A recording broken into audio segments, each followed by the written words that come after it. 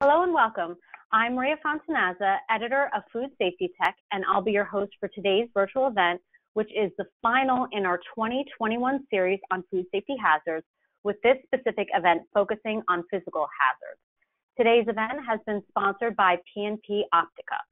So before I welcome the speakers, I'm just going to review some housekeeping items. You're listening in using your computer speaker system by default. If you prefer to join over the phone, just select telephone in the audio pane and the dial-in information will be displayed. If you have problems with the audio, please try to increase your computer's volume. If you still continue to have issues, log out and try to reconnect. Contact Veronica Allen via the chat box if any technology problems persist. Today's event will consist of three educational presentations and a tech talk by our sponsor, P&P Optica. You'll have the opportunity to submit text questions to today's presenters by typing them into the questions pane of the control panel. You can send them in at any time during each session block. We'll collect them and address them during the Q&A session after each presentation. You can download the presentations and your certificate of participation from the handouts pane of the GoToWebinar control panel. Please make sure to download the files during the webinar as they will not be emailed after today's event. If you're using a handheld device, please select the note symbol. And we'll also have a interactive poll at the end of P&P Optica's Tech Talk, so we also encourage you to participate in that as well. So now I'm pleased to welcome and introduce our first speaker, Shawn Stevens, food safety attorney and founder of Food Industry Counsel. Shawn is a prolific contributor to our virtual and in-person events. It's always a pleasure to have you, Shawn. He's also a member of our editorial advisory board. Welcome. Hey, thank you so much, Maria. Um, it's great to be um, here today with um, with the audience. This is really um, a fabulous, fabulous topic um, uh, that we're addressing today, which is foreign material contamination in food, and it it creates all sorts of issues and problems, of course, for us as food manufacturers, um, trying to produce a safe product and avoid the scrutiny of USDA and FDA. Um, but uh, sometimes uh, bad things do happen.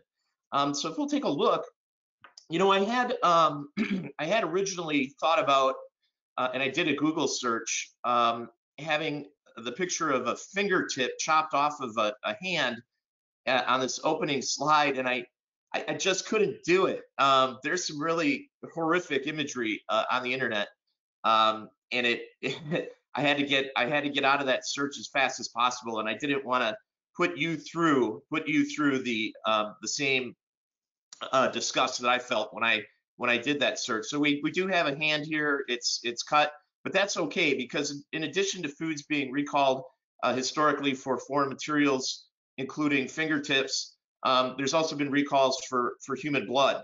So I thought this photo was maybe just a little bit cleaner and a little bit easier to swallow. So uh, since 2000 and 2021, there have been um, approximately 793 recalls uh, for the existence of foreign materials, foreign objects uh, in food products. 793, that represents a little less than 10% of all recalls um, uh, since the year 2000. And what we're going to see is uh, around 2012, there was a huge jump in the number of annual recalls for foreign materials. We can talk a little bit about why that may be. But the one thing that we do know for certain, especially for those of us who have uh, lived through uh, foreign material recalls, uh, is that they create massive headaches, right? Um, 793 massive headaches because of foreign materials that should not have been in a food product in the last uh, 20 or so 20 or so years. And what what are we talking about, right? When we talk about foreign materials, what what is sort of the the universe of things that can find their way other than pathogens and chemicals and pesticides? What are the different objects we, we find in food products? Well, I have a sampling right here. This is actually the most uh, often occurring um, uh, uh, foreign materials that will find it find their way into foods, from glass to rubber gaskets and equipment uh, to plastic, um, metal, uh, calculator buttons, uh, insects, of course, are a big one. Golf balls like to find their, their way into potato products pretty frequently. Uh, blood, rocks, uh, even parts of a bird.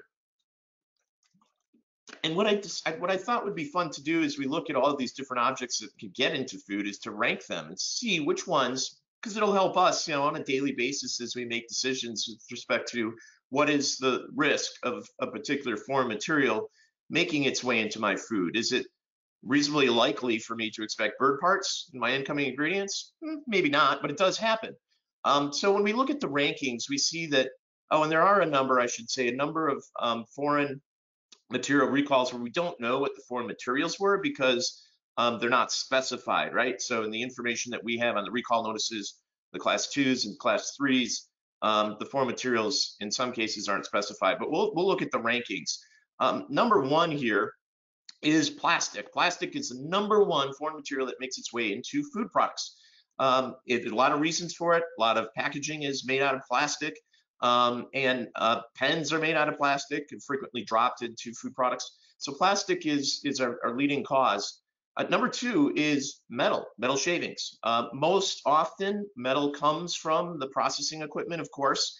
If it's run um, uh, and not maintained appropriately, there can be failures where we see um, metal forming in in in or metal finding its way into our food products. Uh, number three is glass. Glass is number three. Uh, number four, unspecified. So the fourth leading cause of foreign materials or foreign materials that have not have not been specified by by the agencies, USDA or, or FDA.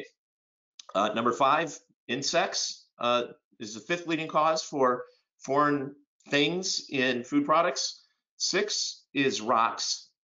Seven is gaskets or rubber, rubber, usually in the form of gaskets that'll fail on, on food processing equipment.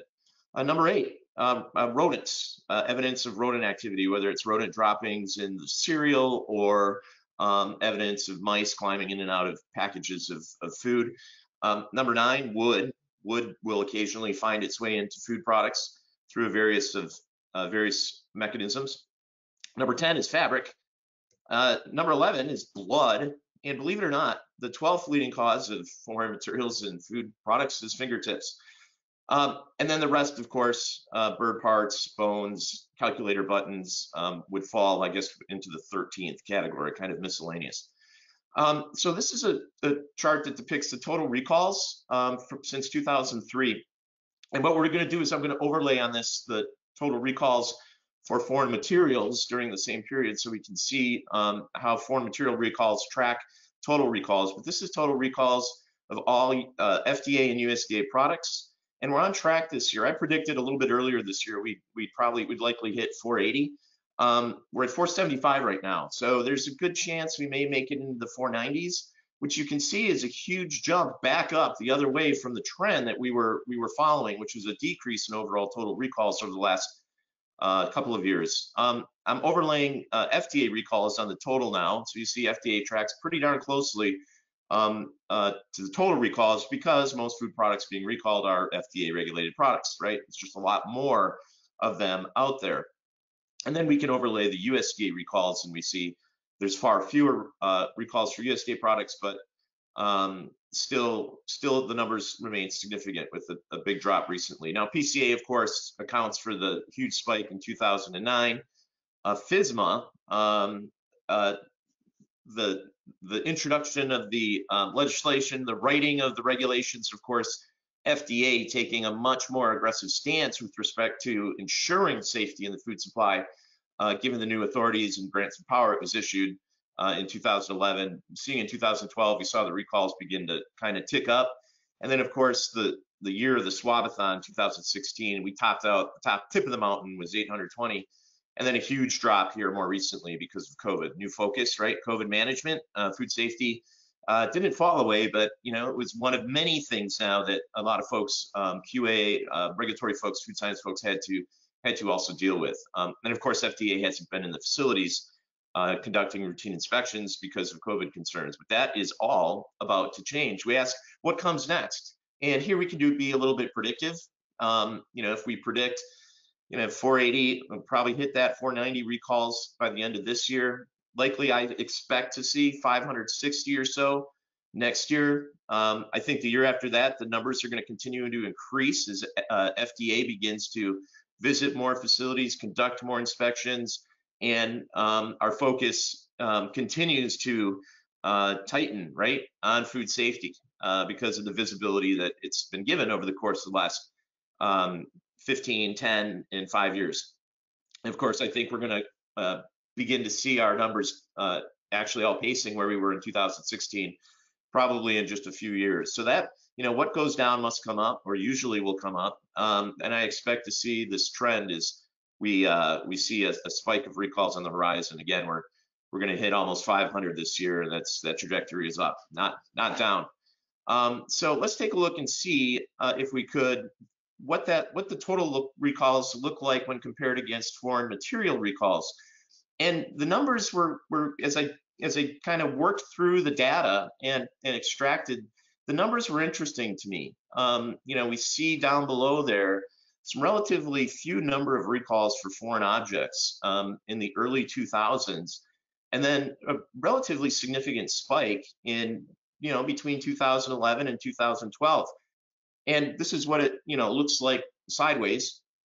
Um, 11, 20, 8, 8, 11, 11, 10, 11, 16. When we get to 2012, something drastic happened. Um, and I'm not, I'm not certain what the explanation is. It could be that more and more companies um, were investing in and putting uh, uh, metal detection on the line, right? This is the same year that FSMA was was written um, and signed into law.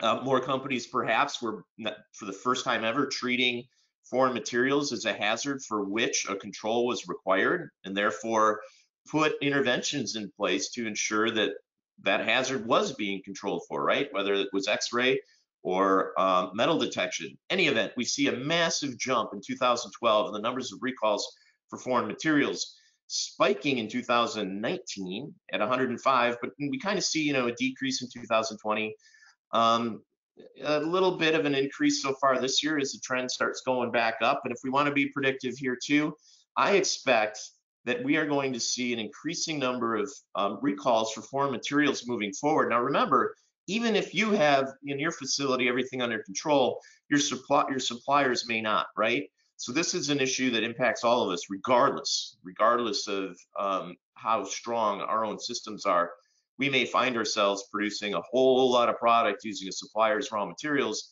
um, and and not discover the existence of contamination in a particular lot until we've got a lot of finished products already manufactured and packaged in their final packaging. Um, so this is where I predict I see us going, um, more and more recalls. And as new technologies are brought online, um, uh, and more companies begin using technologies such as X-ray, uh, a lot of the contamination that avoided detection previously, right, through metal detection or mag magnets perhaps, um, are going to be detected, right? And I expect we're going to see a lot more recalls happening as X-ray um, is employed increasingly in, in, in different facilities. Here's just some examples. Some of you may have seen this of some recalls. I call them bad foreign material days. Uh, hydraulic flu fluid and ground beef in 2005. I was involved in that recall. It was a very slippery situation. Um, somebody found a bird head in a can of pinto beans in 2006. Uh, diesel fuel in seasoned turnips, um, seasoned diesel flavored turnips. Fingertip found in a potato scrambled breakfast in 2015. I bet everybody scrambled from the breakfast table when they found the fingertip. I would have uh, golf balls and hash browns in 2015. More fingertips showing up. Remember, the 12th leading cause of recalls here in the United States involving foreign materials this time in donuts and cinnamon rolls. Um, blood and taffy, it was human flavored taffy, not cherry. Shredded golf balls in 2017. Then in 2019, my favorite chocolate cake, somebody found a bird foot, and we'll leave you uh, with this this image. So, what is the um, what is the you know leading causes of material recalls or events? Uh, I think you know right at the top is the lack of employee training. Um, employees, unfortunately, in many cases, it, you know, they don't understand the significance of a foreign material getting into a product. Tearing open plastic bags full of frozen onions, right, to dump into a hopper, and they're a little sloppy, and some plastic ends up in the hopper. Well, okay, we, we lost a little bit of plastic, so what? What the employee doesn't understand in many cases is that plastic, that little bit of plastic could result in a recall that costs millions of dollars. at least tens of thousands, if not hundreds of thousands, and in some cases millions of dollars, depending on the size, right, of the batches or the lots that are being manufactured. The other thing I think that leads um, the cause of, of, of recalls for foreign materials is employee fear. Employees fearful that maybe they made a mistake. Oops, they get back to the QA office and they're they're missing their pen, right? Nobody knows where it went right now. Um, and instead of coming forward and saying, listen, uh, I, am sorry, I lost my pen, uh, and being able to stop production, right? Stop the line, try to figure it out, um, and maybe we find the pen parts um, before it's too late. But if we start receiving telephone calls from customers, right, who are finding parts of pens in their in their food, well, now um, uh, we may be in a recall situation. So it's very important, I think, for employees, us, to help employees um, have a comfort level that we would much rather hear about a mistake right now, right? So we can correct it for maybe a few hundred dollars or a few thousand dollars, as opposed to not telling anybody about something they saw or did, and it cost the company hundreds of thousands or even millions of dollars. Um, the third, I think, leading cause is lack of preventive maintenance. You know, you've got uh, equipment that is um, you know, it has gaskets. It, they have parts. Um, they need to be inspected and and replaced. Um, a lot of gaskets have best by dates, right? Replace this a gasket after six months, or 12 months, or 18 months. And many companies, that maintenance isn't being done. Rather, the equipment is being run to failure, right? We'll just run it. Um, and in many cases, super hard when we think about the volumes, right? until um, something busts or something breaks, and then we'll we'll send in the maintenance folks to make the repairs and um, and we'll do it all over again, right? But the millions of dollars of product that is thrown away every year because of equipment failures could probably be used to to actually buy a little bit of or pay for a little bit of preventive maintenance. Um, so maybe net in the end, the company saves money. So uh, what should you do if you find yourself in a potential recall situation? I get a call, somebody found a bird foot, right? In in in in their cake. There's complaints. FDA is now involved. Maybe they're not yet involved, but we're trying to figure out is a bird foot, the foot of a bird, something that is worthy of recalling a whole bunch of product? Is a recall required, right? Is that's a situation, that's a that's a question we ask in any situation involving a foreign material. Could be little tiny pebbles, it could be little pieces of metal, it could be flakes of plastic, right? um, or something bigger like glass. But is a recall required? Well, the tool that we use, and I'm going to just show this to the audience because it's extremely helpful, is our food recall reporter. Um, it's um, food uh, uh, totally free. And what we do is when we find ourselves in circumstances where we're wondering, hmm, is a recall required under these circumstances? It might not be a foreign material. It could be a pesticide. It could be a pathogen. It could be bloating cans, right? Um, or bloating packages. We'll just type in um, in the search box and it'll bring us to um, all of the recalls that have ever happened involving that particular instance. In this case, there is only one. Fortunately, thank goodness, one recall involving a bird foot. Now I've I've blocked out the company and brand here, but you can see details. It's a bird foot chocolate cake with cream cheese icing. The recall class, it's a class two. Thank goodness public never had to hear about it, right? So that means there wasn't press. Recalling agency was FDA and the food type was human versus pet or animal. And we can dig in a little bit further by clicking into the um, into the um, data, and we see basically a details page here. Again, company and brand are are um, are uh, redacted and all the details. Consumer complaints of bird foot found in the product uh, caused the recall of 45,366 pounds of cake. Um, class two, again, no um, no recall notice, but we do see we'll have a link as well to the FDA enforcement report so you can see some additional details involving the recall. And it'll help you make a decision at the end of the day whether a recall in these circumstances is warranted. Here we did a search for pen, and you'll see over the last 20 years there's been um, there's been seven recalls for pens, parts of pens and food products. Uh, six were class two, one was class three. Thank goodness none were class one. Nobody ever had to hear about it. Uh, five involved FDA products, two were USDA products. So it's a really helpful tool um, when you're navigating um, uh, the recall, you know, decision tree, right? Um, what are we going to do? Uh, and and and this is the coolest part. You can influence CFSAN's recall classification, right? Every recall is classified. Well, there's many cases where we've had clients who have had recall situations where the recall reporter was just bound and determined to classify what had happened as a or recommend to CFSAN that it, uh, what what happened be classified as a class one recall. And for whatever reason, in those circumstances, um, in some of those circumstances, the company did not want um, there to be any press. Maybe the company was going public. Maybe it really wasn't a big issue and nobody wanted to alarm, right, um, their customers or consumers. And what we can do is use the recall reporter to show that, look, um, Mr. or Mrs. Recall Coordinator, uh, yeah, we're getting complaints of pieces of a ballpoint pen, right, in our soup, but but in every single instance historically, all seven of them, um, they've always been class two or class three, where the risk to consumer has been very low. You should follow that precedent. We'll tell you, um, FDA is one of the, the largest users of the recall reporter. Um, my sense is um, it's being used as a tool to help classify recalls based on historical precedent. What has the agency done in the past? Well, we can find out really quickly. Um, just a little plastic. Do small malleable pieces of plastic equate to adulteration? Here's a picture of a sample of sea salt. And there's little tiny shavings of polypropylene from a tarp. Um, it was ultimately determined uh, in the sea salt. And we would find about this many pieces of polypropylene in a 50 pound bag of salt. Unfortunately, there was a customer of this particular supplier who was making brine and found these little pieces in their filters um, at about the same time, USDA was walking through the facility and also saw these in the filters. USDA um, then informed FDA that there was plastic found in this product. Um, FDA inf informed the supplier.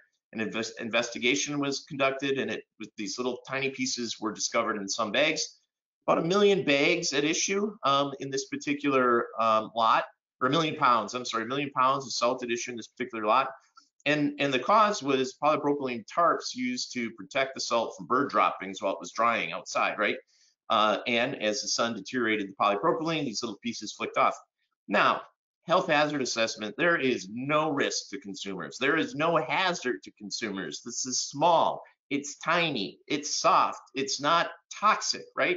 Nothing is going to happen if we ate a little bit of salt with some tiny pieces of uh, polypropylene in it. Nevertheless, FDA was um, determined um, to ensure that this product was one way or the other um, uh, recalled. Uh, the you know the agency's take here, and we locked horns for multiple weeks uh, with the agency, and we ultimately negotiated a resolution with CFSAN up at the highest levels. Um, but as this, as I call it negotiation, as this negotiation was playing out, um, we had FDA recall coordinators calling other recall coordinator, coordinators saying that the product had been recalled. It hadn't, right? The company had not recalled the product. It put a hold on everything that was in inventory. Um, but the recall coordinators, then the various districts went out and started asking the company's suppliers or customers if they had re received the recalled product.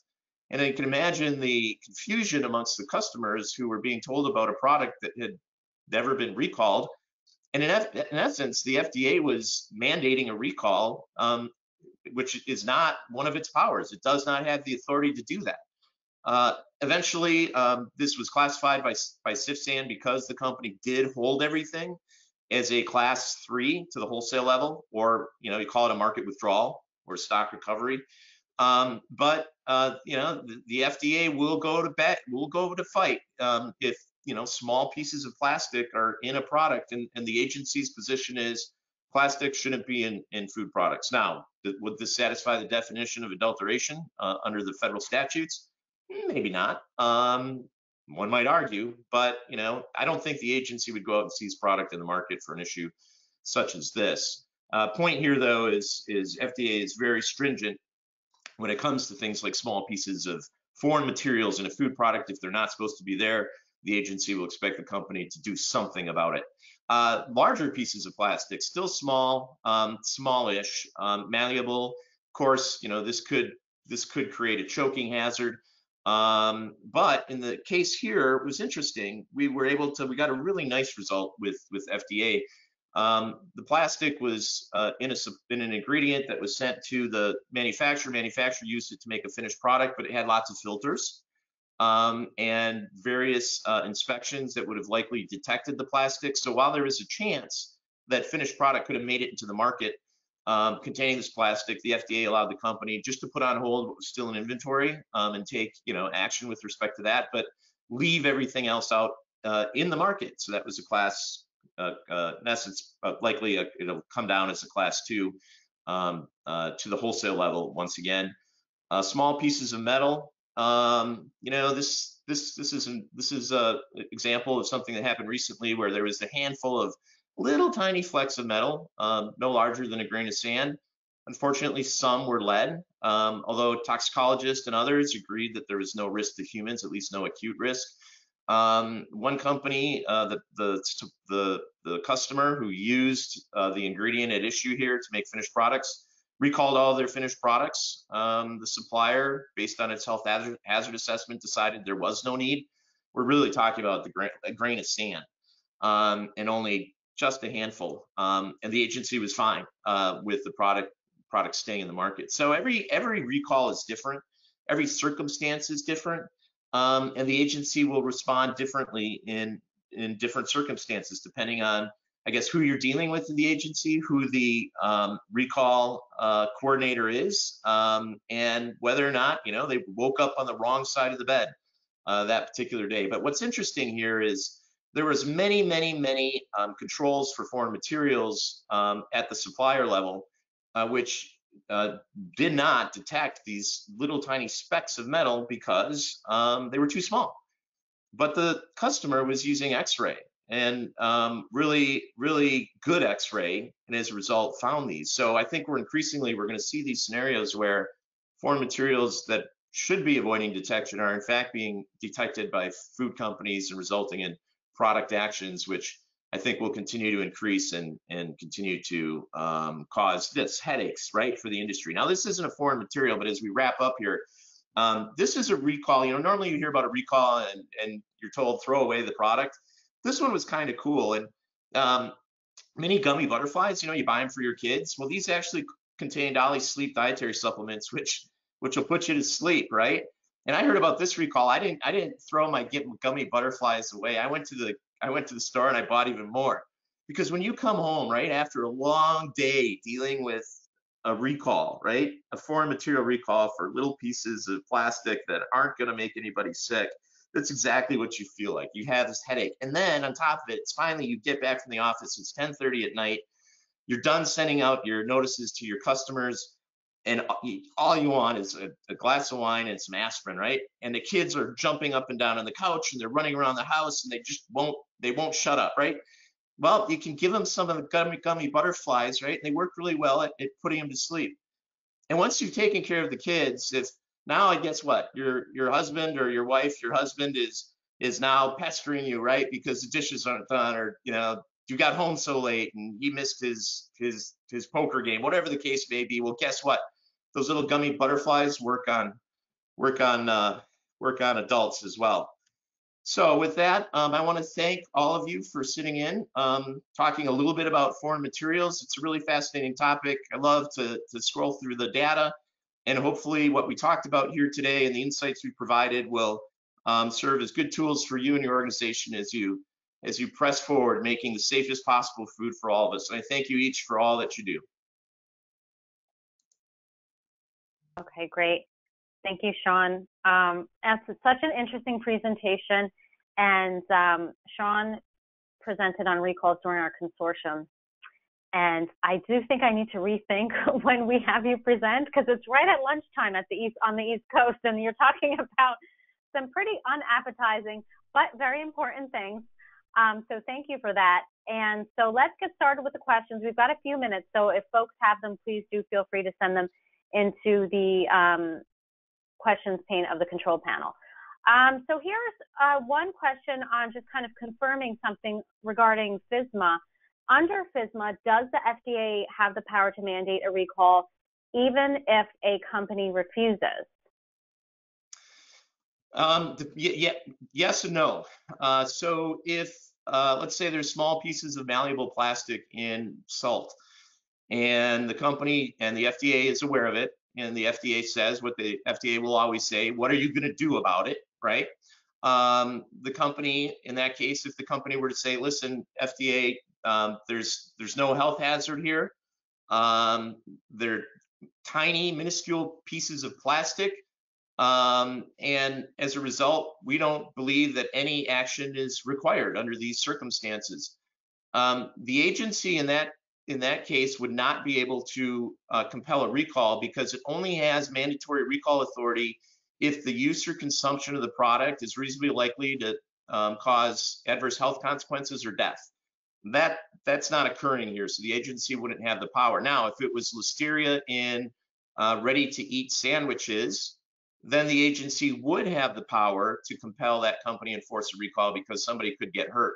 Now, the agency, if it's really perturbed and it thinks it can win on the argument of whether uh, tiny pieces of plastic, harmful plastic in salt is adulterates that salt and makes it adulterated, the agency could um, uh, seek an injunction or um, seize the product uh, from the market and then take um, uh, additional action against the company itself. But pretty unlikely in this scenario. I think you know FDA would would um, would seize product and you know have its people pull it from the shelves. Uh, but you know you never know. So each case is different, and each um, you know decision making process has to take account all of the potential risk. Okay, very good. And what are the penalties for not recalling a contaminated product? Right. So, um, you know, if it's um, it's a crime to knowingly ship adulterated products into commerce. Um, so, you know, conceivably, uh, the agency could bring potential criminal sanctions against the company.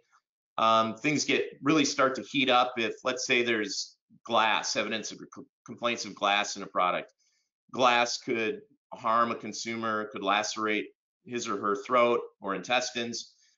Um, in that case, if um, consumers actually consumed the product and became injured, uh, and maybe somebody died, and the company was aware that that product, adulterated product, was in commerce and failed to take action, that's when DOJ could get involved. On top of the penalties that FDA could impose, DOJ could say, um, you know, you knew of a situation that could have hurt somebody. Um, you're in a position to correct the situation, issue a recall of the product, and, and put out press and you failed to do so, therefore, um, you know, you're you could be liable criminally um, in that case. So a lot of different considerations when we, you know, think about um, when we have a issue with the product and whether or not to recall. The advice I give um, in all cases, and sometimes the decision is hard because uh, it costs a lot of money. Um, but the advice I give is let's ask ourselves, what would 12 jurors think?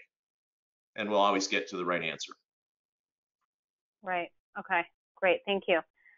Here's an interesting one. Does a foreign body have to cause harm to be considered a physical exam, a physical hazard? And then as an example, this person is saying such as something naturally occurring on a product like fish bone. Is that a physical ha- hazard? Or is hair considered a physical hazard? Your thoughts? Yeah. So, um, th- well, first, does does the object have to hurt somebody? No. Um, it's just the reasonable probability that it will um, or could. Uh, foreign materials that are inherently natural to a product um, are okay if the consumer would expect to find it in the product, right? So if I'm eating fish and there's a fish bone in it, um, that's okay. But if I'm eating SpaghettiOs and there's chicken bones in it, right? There shouldn't be any chickens anywhere near my SpaghettiOs that that is a problem, right? That could be deemed to be a hazard and um, something that um, adulterates the product because it's not supposed to be there. Okay. So we've got time for one more question. What are your remedies if the contamination originated from a supplier? Right. So um, in today's day and age, we're typically, you know, we're able to um, investigate thoroughly and determine whether if it's metal it's metal that was present, you know, in our facility or part of our machinery.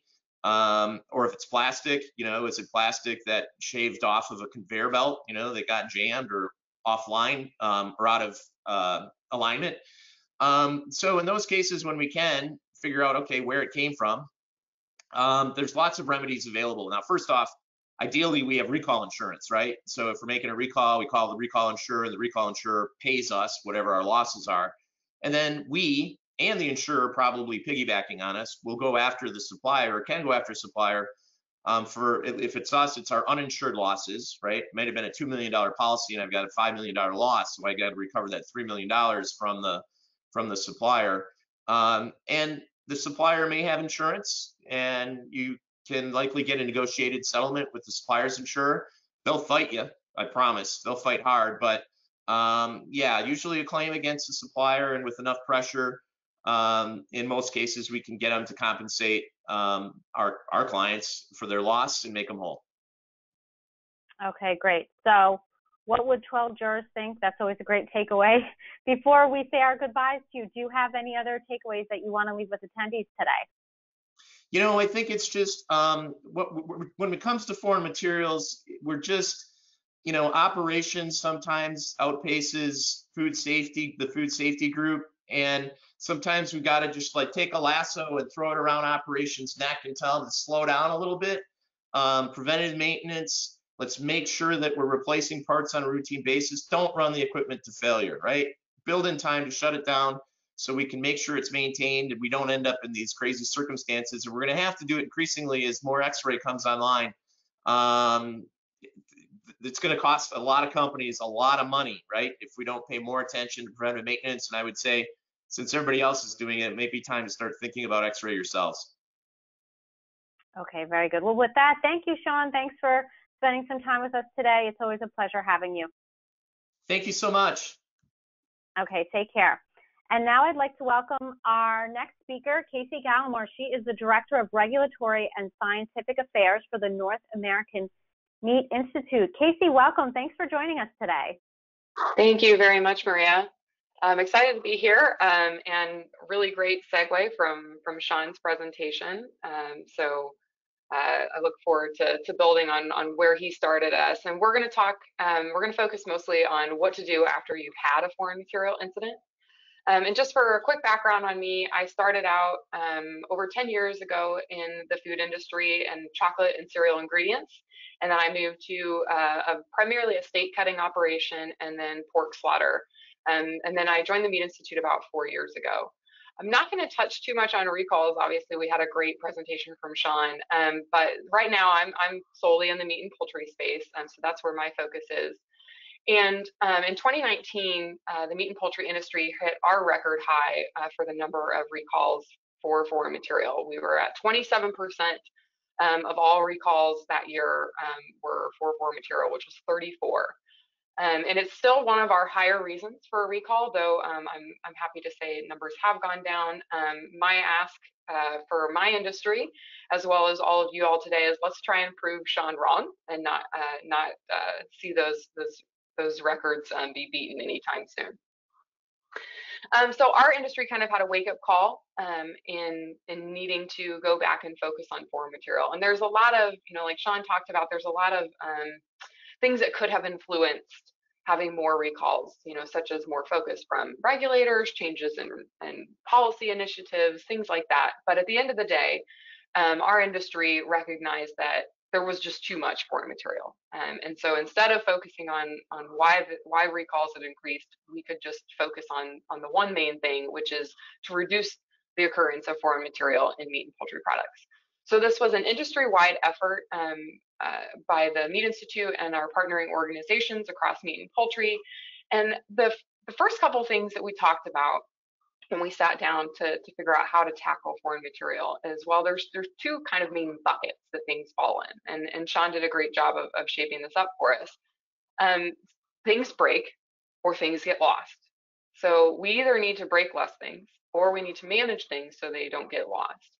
And those kind of easily broke out into two projects. And those though these two projects um, will not solve all of those problems uh, we hope that uh, they're a really good start um, so many of you might be familiar with our sanitary equipment design principles that have been in place for a long time. Though they're designed for the meat and poultry industry, they have been used um, across a lot of industries and are very applicable um, to those using like a wet cleaning uh, type of operation.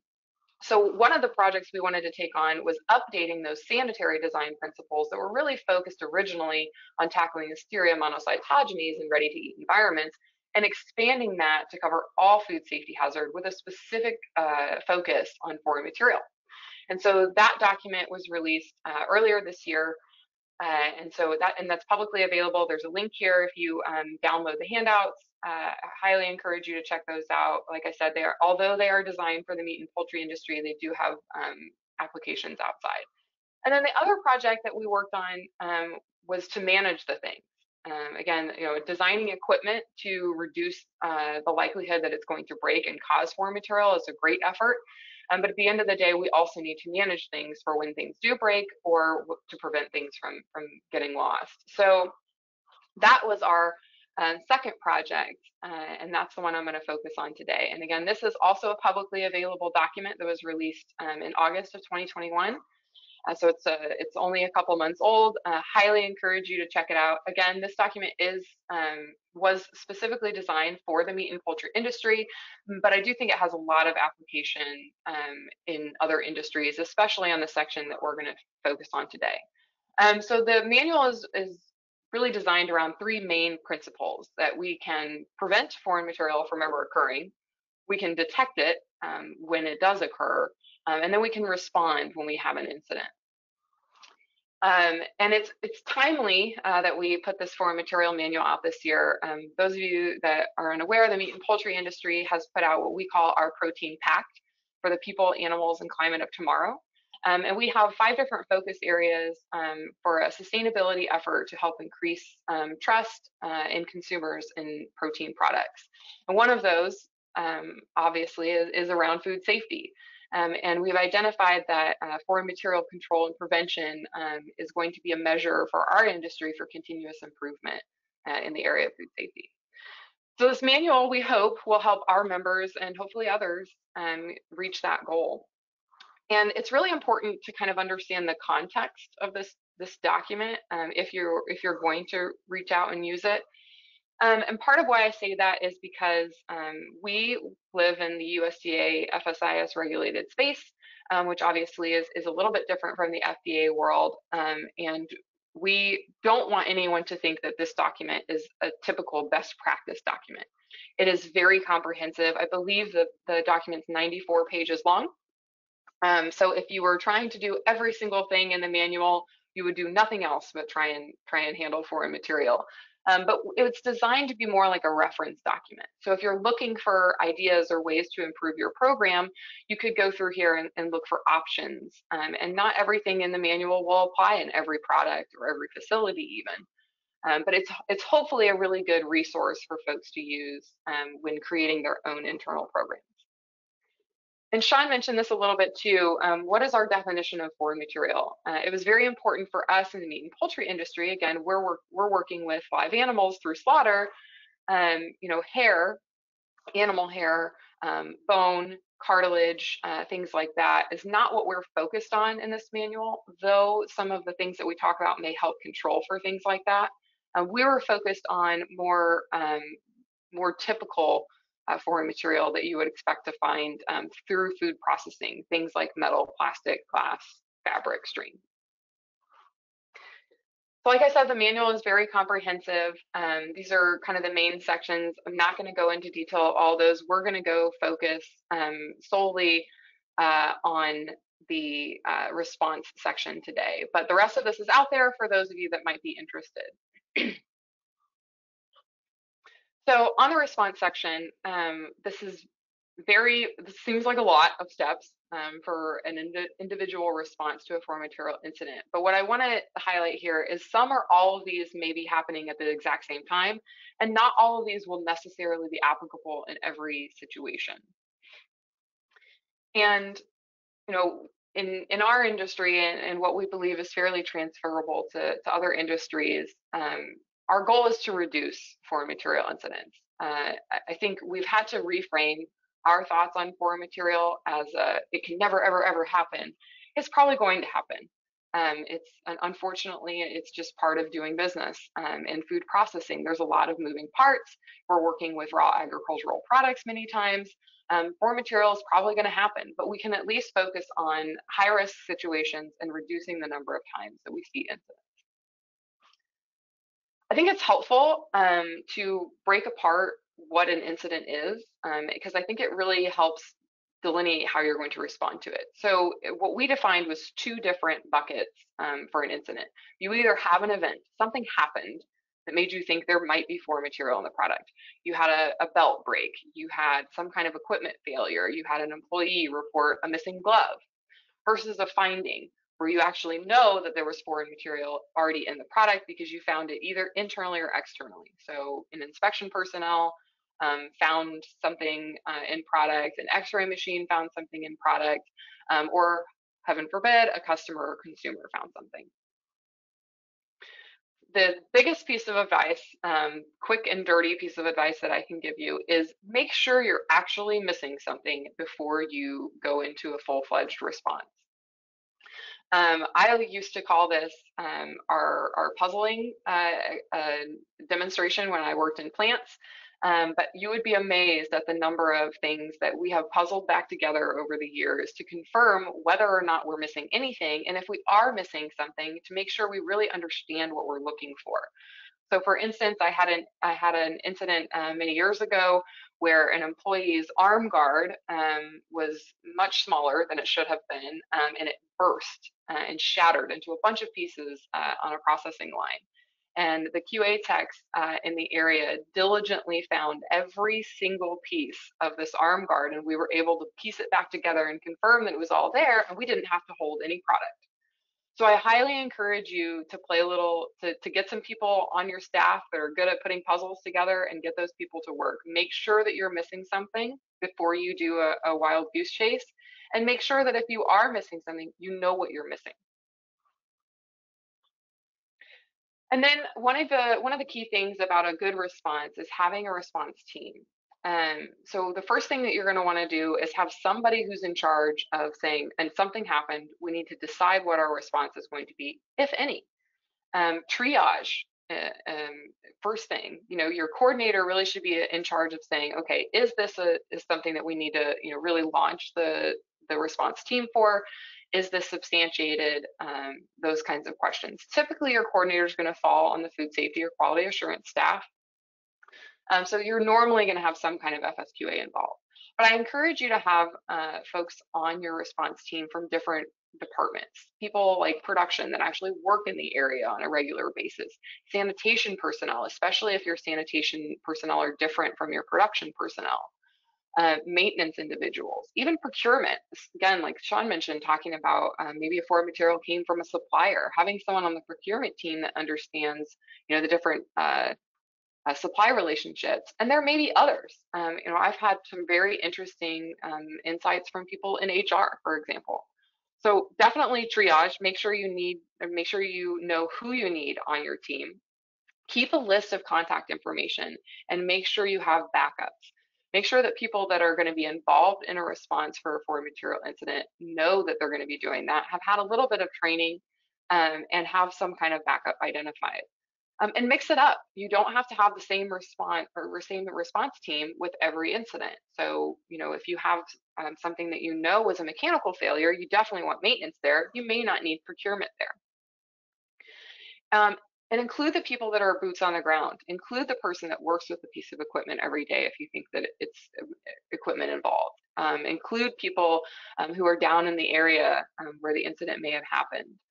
Um, it doesn't not just need to be management personnel. In fact, I find that it's often way more valuable to have the boots on the ground people um, than a management person.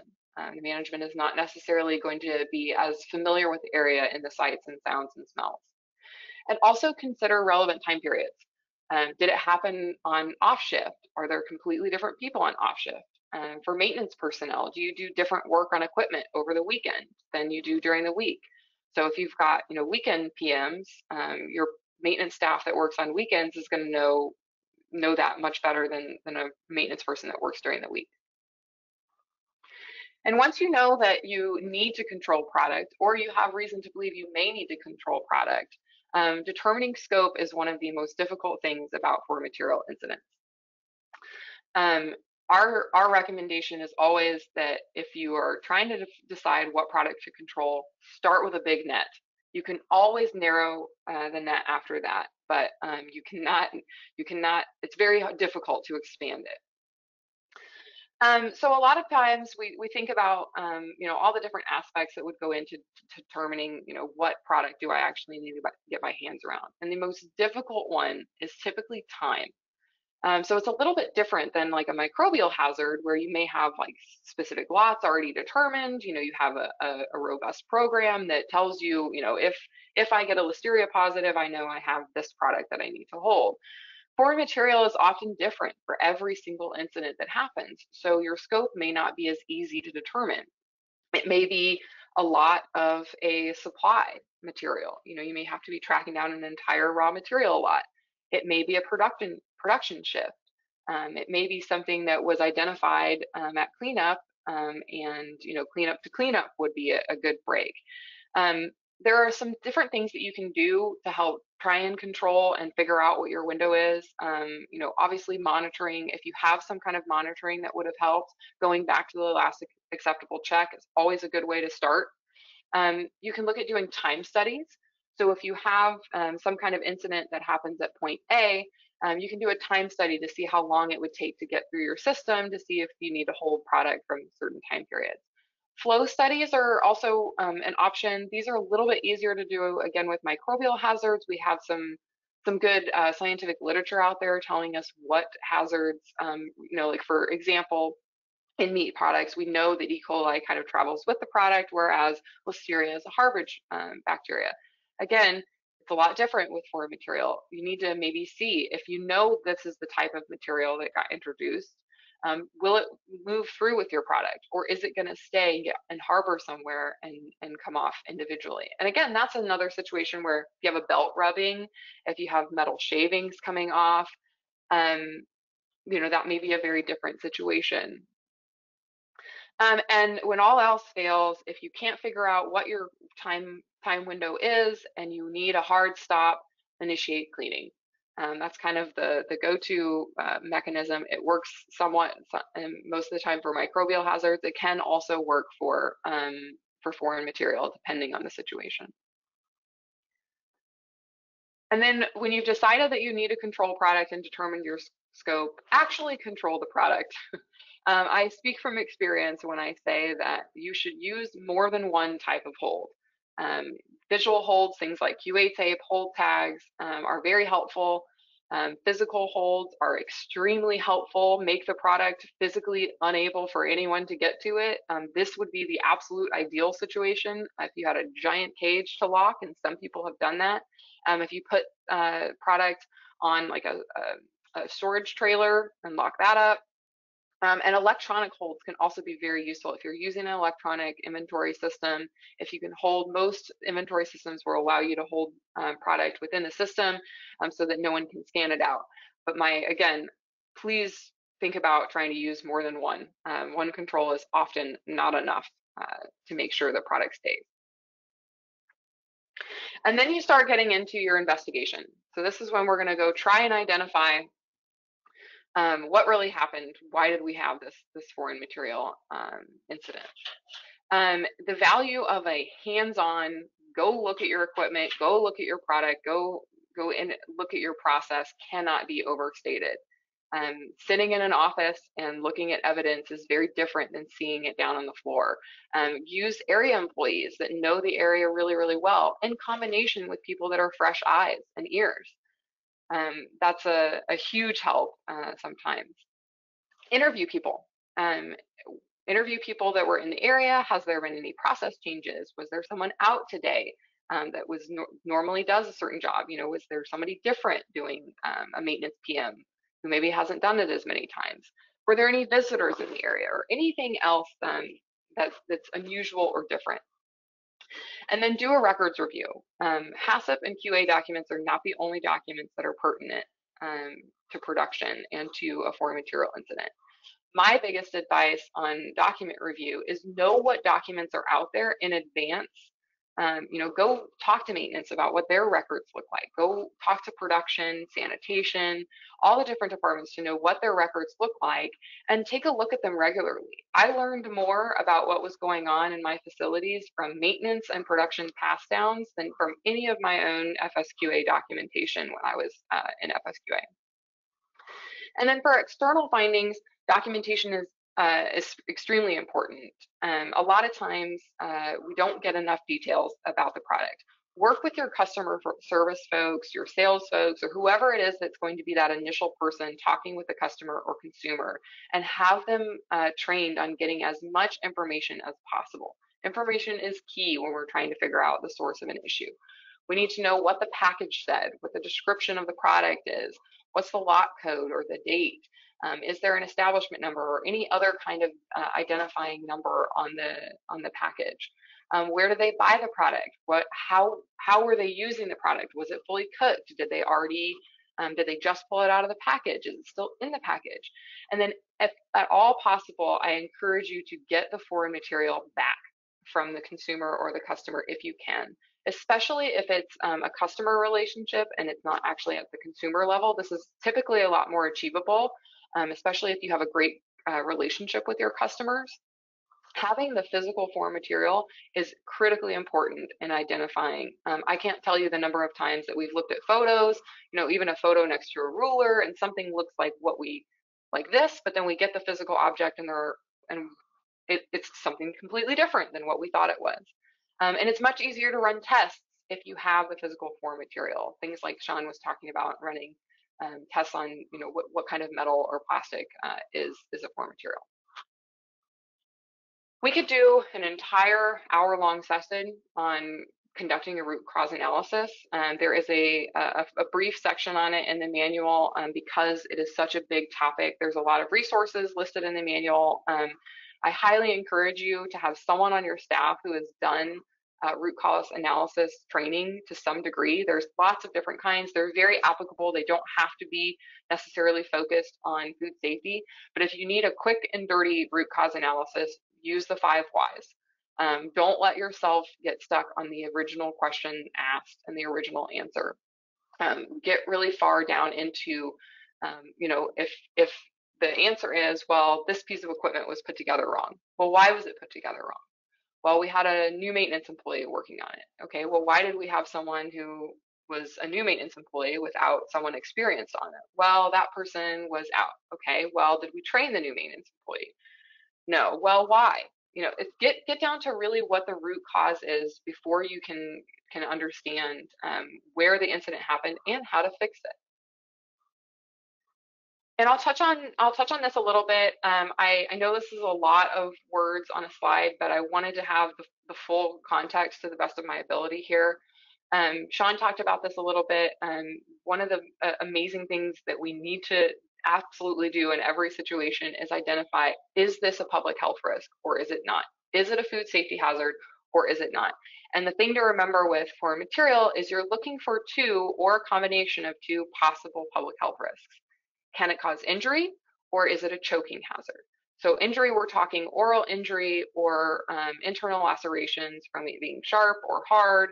Um, and choking hazard, we're looking for a certain um, texture, size, um, and consistency for that choking hazard to be present. Um, and your intended use is very key. So if this is going to uh, only be served to adults, um, that's very different than something that is, uh, you know, a kid product. Um, so the other thing that I'll, I'll, I'll tag here is that you need to consider all of these elements before making a determination. So just because something is the right size or shape to be a hazard, if it's very uh, if it's very easy to see and it sits on top of the product and someone would very easily identify it before they would consume it, that's different than if it was embedded in the product. Generally speaking, though, um, in most regulatory bodies, if uh, if a bore material is hard and sharp and between 7 and 25 millimeters, regulators are going to assume that it's a food safety hazard. Um, like I said, there are other things to consider there that you should consider, um, that's kind of a quick and dirty, hard and fast rule. In Canada, I think it's between 2 and 25 millimeters. And do a risk assessment. Um, again, not every foreign material incident is going to warrant the same response. So if it's uh, for sure a food safety hazard, that's going to warrant a different response probably than something that's not a food safety hazard. Um, obviously, for something that's a food safety hazard, we need to get our arms around the product. We need to make sure that it's not available to customers or consumers. Um, if it's not a food safety hazard, that's when we need to consider what amount of risk the, what the company is willing to take on. And know that, you know, injuring consumers is not the only risk that you have with foreign material. There are things like brand damage, um, you know, consumer trust, different things like that, uh, supply relationships, especially if this is, um, you know, something that you're supplying um, under someone else's brand name, things like that are, are also critical to think about um, in how you respond. And once you have a lot of the information available, you can start trying to think about what your disposition is going to be. And there's kind of the, the top five. Um, you know, either you've determined that you know all pieces are accounted for, or there's little to no risk. Um, so you're going to release the product. You may decide to rework, whether that's by um, you know doing internal rework re-metal detecting, sending it through an offline x-ray. Maybe you work with a third party who can do um, some kind of detection for you. Um, maybe you send it for further processing. You know that it's something that you can't um, necessarily eliminate in your um, facility, but maybe a further processor that can sift it or metal detect it um, would be able to handle it. And then there's rendering. I um, I I always want to put like a little disclaimer on rendering um, because renderers, if you're using an outside renderer, they don't want your foreign material either. um, and if you're rendering in-house, um, if it's going to be used for animal or pet food, um, now we have all kinds of regulations around that. So just understand what your rendering process um, or the, your renderer um, that your outside renderer can handle in their system um, what will what foreign material can it handle what form material may hurt their equipment um, and then obviously there's there's uh, actual dis disposing of the product and not all your product will necessarily have the same disposition so if you cast a really wide net and through your investigation you were able to say um, you know, we thought maybe it was a whole production day, but we were able to narrow it down to two hours. Maybe you rework those two hours worth of product and the rest of the day can get released. And this is to score bonus points, but I don't want to diminish uh, the, the usefulness of this. Um, trend, use your data. Don't just let, let your data sit there and do nothing. Um, start making sure you document and start tracking your foreign material incidents. Track your internal findings as well as your external. Your internal may be telling you something, um, and hopefully you can identify it before you have an external finding these are just some of the things that you might want to um, look at tracking um, and trending. Um, there's there's certainly more that you could look at, but these are some things that um, our folks have found valuable over the years. And then um, there are kind of like what I'll call three levels of uh, trying to fix an issue. There's that immediate corrective action. That's the band-aid. That's the, we're gonna take this equipment out of the room, we're gonna um, clean and sanitize the area, um, maybe you're going to increase monitoring for a little bit. There, these are things that you're going to do right in the moment as soon as possible to stop the bleeding. A preventative measure is going to be that next level. That's going to be something that um, you're going to take a lot, you take some time. You know, don't rush creating a preventative measure. Um, if you have that immediate corrective action in place, you've bought yourself some time to do a thorough uh, root cause analysis and really identify the right um, preventive measure to use. Um, this is something our folks um, uh, harp on quite a bit. Um, it's true, what we think, as well for training. Training and increased monitoring um, are useful, and uh, there are times to use them. They're not good preventive measures. Um, if you can have a, a hard, um, you know, I, I actually worked at a facility once where we were not ever allowed to use training as a corrective action or a preventative measure. We had to create um, something in process that, that could control um, the incident moving forward. So I encourage you, I encourage you to have that mindset. I'm not saying training is never the right answer. It is sometimes. Um, but increased monitoring should almost never be used as a preventive measure, and training um, should be probably an element, but not not the end goal. And then that next level um, is reassessment. Um, reassessment's not always going to be necessary, but you should consider it. If you've had a similar incident multiple times, maybe it's time to look at your program in general. um, or if you've had a significant enough incident, um, either number one, regulatory requirements um, would make you do a re reassessment, but also if you've had a fairly significant incident, that might be a good time to consider reassessment. So I kind of look at this in the same way as um, trying to prevent um, future uh, car accidents. Once the car accident's happened, you need the band-aid, but hopefully only a band-aid for a minor car accident. Um, then, you know, if you're looking at a way to prevent car accidents, many times you'll see municipalities put in a stop sign. But then if you continue to have um, issues and, and car accidents or so ones that are severe enough, you'll start seeing car manufacturers jump in um, and create things um, like a, uh, brake assist and lane assist and early warnings and things like that to kind of help um, consumers do better uh, when driving. So think of it the exact same way. There are levels um, to put in place. And then my my parting thought for you all um, is that, uh, and for those of you that, that work directly in in the food environment, um, I I feel you probably have the same thought that I do, and that one of my least favorite things ever to hear is, "But we've always done it this way." Um, uh, great quote from from Grace Hopper on uh, the most dangerous phrase uh, in our language. Uh, so I encourage you to to again, this is publicly available on our website as well as our partnering organizations. It's out there for people to use. Though it was designed for the meat and poultry industry, um, it has applications elsewhere, um, and we encourage you to to utilize those resources.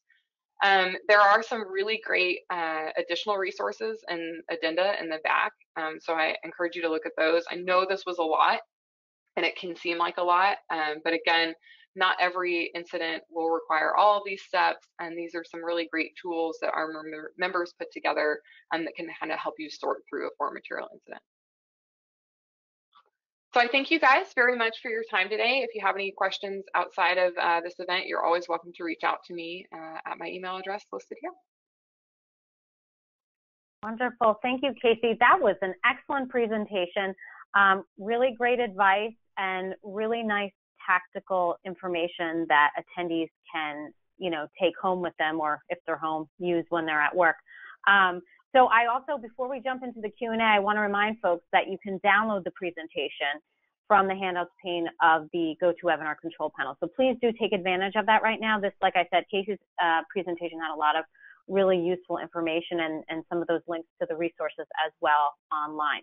So for the first question, this one came up from an attendee um, when you were going through the flow chart of the root cause analysis. So with regards to the use of the five whys in root cause analysis, is it strict in the sense that one needs to ask all five whys or can you do less or more of the five whys? Yeah, the five whys is, um, I, I, think they went with five just to challenge you to get past one or two. Um, so you can definitely use more or less. I would try not to use less, but definitely use more if you can. So um, the idea really is to challenge yourself into getting down to what really is the root cause um, versus what's kind of, you know, the, the superficial. Okay, very good how can one get buy-in from senior management to put resources towards a good foreign material response process? Yeah, that's that's always hard. Um, you know, doing the right thing often takes a lot of money, um, and that's what that's what we often find. And, and, I know it's hard if you're in the food safety or, or quality assurance world, um, and trying to get people to focus on on things like foreign material because it just seems like all you do is ask for money and you don't make any money. Um, but there's two pieces of advice that I can give you. The first is relationships. Do not underestimate the power of relationships. Try and get good relationships with your operations and production folks, your maintenance personnel. Um, have have those people on your side and seeing seeing what you're trying to do for the organization first. Um, and then when you go to management with an ask, show them the money show them where this could hurt them you know Shawn you know pointed out recalls um, are are hopefully not, but um, potentially on the rise, and they're expensive. There's a lot of information out there on how how expensive um, recalls can be. Um, you know, you're not just looking necessarily um, at you know the cost of getting the product back, the cost of you know ruined relationships and the customer supply. You're talking about brand damage. You may be talking about paying someone's hospital bills if it's a food safety hazard. Okay, very good. Thank you. So when you went through the steps um, to take with incidents, you kind of had, you know, different paths of, that folks could go. Are all of the steps necessary for every incident?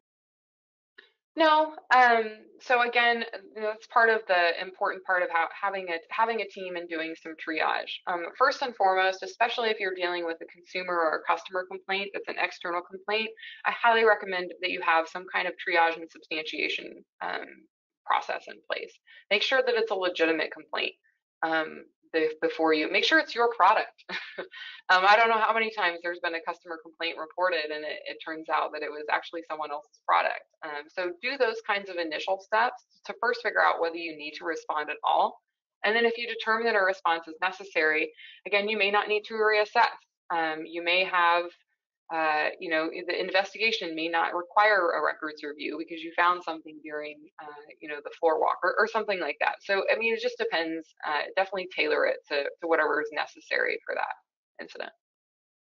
Okay, great. Thank you. What is the risk of a poor response to foreign material, a foreign material incident if there is no food safety hazard? Yeah, again, we talk a lot about, um, especially in the food safety world, obviously we're focused mainly on actual food safety hazards that are a public health risk. Um, there, there's a lot of risk from hazards that won't necessarily um, cause injury. You know, maybe it's not a class one. Uh, maybe FDA wouldn't force you to recall your product, but you still could have a, a potential for a lot of risk. Um, and, and that's where you need to really determine what you're willing to accept.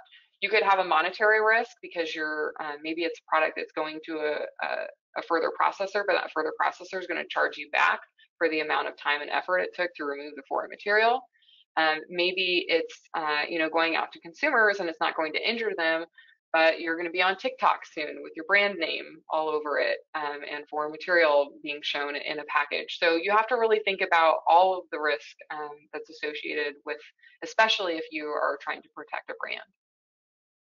Right. Okay. Very good. So that takes us to the end of all of our questions. You had a lot of information in your presentation. Um, so I did want to ask you and give you the opportunity if you have any sort of key takeaways that you want to leave our attendees with today.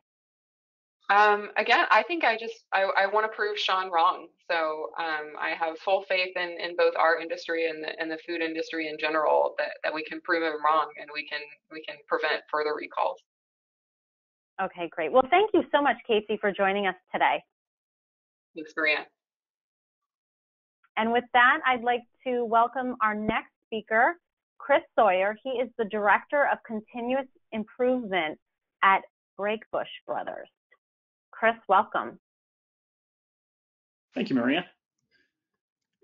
Uh, I'd like to, uh, you know, first of all, thank uh, thank Shawn and Casey for uh, what I would what I would consider putting the ball on the tee for me. Uh, I think a lot of what they covered earlier, I uh, certainly found myself sitting here nodding and shaking my head to some of the you know the horror stories, having uh, been in the industry myself and experiencing some of those. Um, uh, you'll see a lot of common themes in in what I talk about today to uh, what uh, what they spoke about. Um, I also like to thank Food Safety Tech and PPO for having the opportunity to speak today. Um, it certainly is an interesting topic. Uh, you know, when somebody asks you to speak about your foreign material challenges, uh, not a lot of companies are going to step up and raise their hand and say, "Oh yes, please let me speak about all the challenges I've had with foreign materials." Um, you know, kind of airing a little bit of dirty laundry, but I think um, I think we have what uh, what is an interesting story, the journey we've taken to improvement, and um, some things here that I hope you you folks can uh, take home with you and learn from. Uh, maybe make some improvements in your processes as well. Um, so here is a quick overview of what I plan to cover today. Um, just, a, just a few main topics. Um, but before I do get into those, excuse me, I do want to just give a quick introduction of myself and Brakebush Brothers for some context. Um, so Brakebush Brothers, uh, they are an almost, we are an almost 100 year old uh, family owned uh, further processor of chicken products. Um, we do have uh, four facilities across the United States, um, and we are based out of beautiful, uh, yet albeit right now chilly uh, and very windy, central Wisconsin, Westfield, Wisconsin. Me personally, I have 20 years in the meat industry. Um, most recently in, in my role as, as Director of Continuous Improvement for Brakebush. Um, I spent about half of my career in, in operations quality, uh, the first first part of my career, um, some time in research and development, and now most recently CI. Um, and I have the relatively unique distinction of being able to proudly call myself both a cheesehead and a meathead, um, having earned my master's degree in meat science uh, from the University of Wisconsin. So um, as you're as you're certainly aware of by now, um, as discussed by Shawn and Casey, um, we certainly have you know as an industry a challenge with foreign material, right? It's um, it's it's an unfortunate um, reality in our industry that that despite all of the interventions we've put in over the years, um, it is something we continue to deal with. And with the heightened, you know, regulatory and public pressure to get things right, um, it's something we have to continue to work on. Um, that's that's what I love about continuous improvement is is exactly that, right? We we don't always have the right answer right up front, um, but we're going to keep working toward uh, we're getting keep working toward a, a better place. Um, and despite you know a long history of developing and, and implementing interventions, uh, we still routinely hear about recalls. You know, four products containing foreign material, and as we've seen, that, uh, that as the percentage of total recalls, that's gone up in, in the recent decade. Um, and for those of us that work in food production, unfortunately, we routinely encounter it. Um, you know, it's a headache and a, and a, battle we all deal with on a, on a, routine basis to try and keep that foreign material out of our processes. Um, there's certainly plenty of examples of what we uh, what we encounter across the industry. I think Shawn had a very very colorful uh, survey of the things that are seen in the industry. Um, but I'm going to stick to kind of what I call with the three main categories as, as I like to group the foreign materials we encounter um, from my my time in uh, meat and poultry. Uh, so the first one I, I want to talk about is really the most commonly encountered. Um, there's a few reasons for that I'll get into, um, is metals. Um, you know, it, it, makes sense that it's the most common we see. I mean, we have in our processes a lot of stainless steel equipment, right? Um, and, and by their very nature, especially in the meat industry, there's a lot of metal on metal contact. Uh, things like grinders, macerators, slicers, we all have that contact. And uh, unfortunately, given time um, or errors by people, so either through misassembly or you know just good old entropy, uh, we start to see things rub uh, in an unintended way, and that's when we get things that get broken or shaved off and, and they enter the product stream. Uh, the example on screen here would be from a from a wire belt, which which uh, product travels on. Just given given enough tension and stretching and motion over time, we see sometimes the little clips on the ends break off and they end up in our stream. Um, another common metal uh, we encounter is the various fasteners and screws and nuts and such that, that hold our equipment together. Again, given, given time and motion, they tend to find a way to break themselves loose and, and enter the product stream. Uh, the other reason I would consider metal the most commonly encountered is just the fact that it's actually relatively easy to detect uh, compared to a lot of other foreign materials we encounter. Uh, things like uh, metal detectors, x-rays, etc uh, make them easier easy for us to find, so we encounter them quite frequently. Uh, the next most common family I'd like to talk about, uh, you know, Shawn, I think very colorfully talked about this one, is what, what I would call inherent foreign materials. Um, you may not deal with this as much in the in the FDA world, but in the USDA world, things like uh, bone and cartilage and feathers are a reality. Um, and I think it's it's an interesting one because there can be that healthy debate over whether or not we actually consider them foreign materials, right? They're they're inherent to the product. Um, you know, I've even heard it said in, interesting. You know, people say, well, there's always going to be at least some bone in your boneless chicken. You know, muse on that for a little bit. Sounds kind of funny, right? It's boneless chicken, but again, it's inherent to the process. We're not going to make perfect cuts every time. We're not going to contain every, piece uh, of of, of the of, of, the frame of the animal, and you, you might see some of that in the stream. Um, but regardless of what side of that debate you're on, whether it's truly a foreign material or not, uh, you know, as evidenced by consumer complaints and, such, it it truly is a dissatisfier for customers and consumers. So it, we we would be best served treating it as such and doing our, our best to keep it out of the product stream, just like any other foreign material. Uh, and then the last category I, I want to talk about is what I would call the undetectables. Um, you know, the, the enemy of all of us, right? You've got your plastic, your wood, corrugate, paper, things like that, that there's really no reliable or historically hasn't been a very reliable detection system for finding these other than, than just visual inspection. Um, I think uh, among the undetectables is my personal nemesis. Um, folks in the meat industry will recognize these. I can't can't speak to others, but the, the good old combo tanner. Um, you know, it's it's got three of my uh, undetectables all in one convenient package, right? We've got the wooden pallet, we've got the corrugate container, and then various plastics, uh, you know, containing the material within, covering it, stretch wrapping it, etc. Um, so this one carries kind of a unique unique challenge by itself. It's a very convenient conveyance, but also uh, can can become an enemy of ours. Um, so what do we do with all of these materials that are out there, you know, posing risks for us, right? Um, I'd like to just take a little bit of time to review kind of the key technologies, you know, historic technologies that have been out there um, that uh, that I've encountered and, and, kind of the relative advantages and disadvantages in trying to manage foreign materials uh, in our product streams. So the first one uh, I would talk about, I'd like to talk about is uh, screens and sieves. So it's kind of the uh, kind of the lowest tech version that we have, right? It's it's just a, a matter of physically eliminating things. Um, obviously, the challenge here is that uh, they don't work in all cases. Uh, you know, particularly in my industry, thinking about you know wet uh, pieces, wet and sticky pieces of meat, they don't really go through screens and sieves very well. Uh, and uh, the other disadvantage being that they can really only eliminate gross contaminants, right? So I find these work well in terms of um, you know dry ingredients, other good free flowing materials. Um, but even then, you're you're really only going to find things like big pieces of the bag um, if if it's internally produced, or you know if it comes from your vendor, something larger that that that screen would eliminate. Um, kind of one step up from screens and sieves would be magnets. Um, it's it's kind of the other end of the spectrum where you're uh, where the screens are only going to find your larger pieces. Magnets can do that, but also they uh, they're going to they're going to do a good job of pulling out fines and things that that aren't visible. Um, but again, it's it's going to be have limited applications due to you know the product having to flow through uh, something that has a magnet in it or flow over the magnet itself. Um, it, it is nice that it's able to pull out the smaller pieces, um, but again, as we discussed earlier, are those at that point are those really a risk? So um, but I have seen it used most effectively again with dry ingredients um, you know particularly ground materials like ground mustard or other spices where you've got the you know you've got the grinder that has that metal on metal that creates those filings over time um, or it, you know what, what I've seen honestly the most uh, beneficial of doing using magnets would be to eliminate some of the larger uh, metal contaminants like bolts or things like that that could then damage downstream equipment. So when you're when you're making a a you know chopped and formed product that will eventually get sliced, um, eliminating a bolt is certainly an advantage so you don't go and further damage that slicer down the line. Uh, next up the line is one that uh, you know we, we we see plenty across the industry would be the metal detector.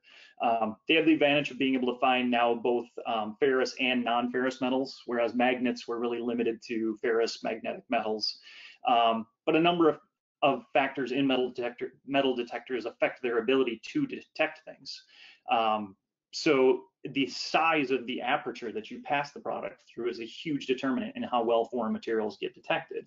So it may be convenient to you know only have one metal detector at the end of your process it's going to be the fastest most efficient to just metal detect boxes rather than having to have them further upstream um, but in so doing you've you've seriously hampered your ability to actually detect that foreign material because you've widened your your uh, zone of detection and it makes that machine harder for it to actually find those materials um, another piece that comes into play would be the foreign material orientation as it passes through that metal detector.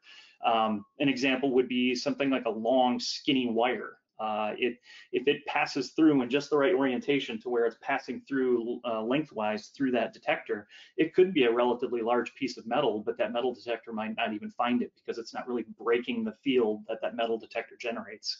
Um, that's one that I've I've actually personally witnessed, and it, it was crazy to see, you know, a fairly good sized piece of metal that a metal detector couldn't detect, but it was it, it went through in just the right way that it that it uh, that it stymied us.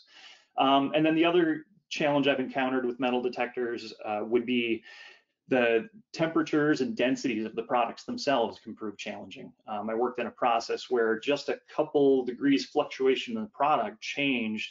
You, know, you wanted it at a specific temperature for slicing optimization, but that happened to be right at the edge where if there were a couple degrees change, it would kind of change the phase of the product and the way it presented itself to the metal detector. Um, so finding that sweet spot between you know, canceling out the metal detector, not noticing the product, but yet still detecting metal at the at the levels that you want, you know, per your program. Um, it was a real challenge finding kind of that sweet spot and, and not having to deal with the high degree of false rejects. Uh, one more step up the technology ladder would be the X-ray, um, and previously, I would have considered this the gold standard, um, but as I get further into the presentation, uh, I'm excited about a new technology that we've started using. Um, but the nice thing about the X-ray is it has all the advantages of the metal detector in terms of you know the materials that it can find and being able to find relatively small pieces. Um, and it is, and it's it's even more advantageous in, in being able to find even smaller pieces. Um, it's also able to move beyond metals. Um, you know, higher density materials such as um, you know, dense enough bone, higher density plastics, um, higher density ceramics and glasses can also be found by an X-ray, um, but not all of them. Um, and in, in, in, addition to um, you know, being able to find those different materials and even being able to find them smaller. Uh, we also find that the aperture of the device isn't quite as critical with X-rays as it is with metal detectors. Um, that, that still does come into play, but but it is certainly X-rays do have have better and, and broader detection abilities um, as compared to metal detectors.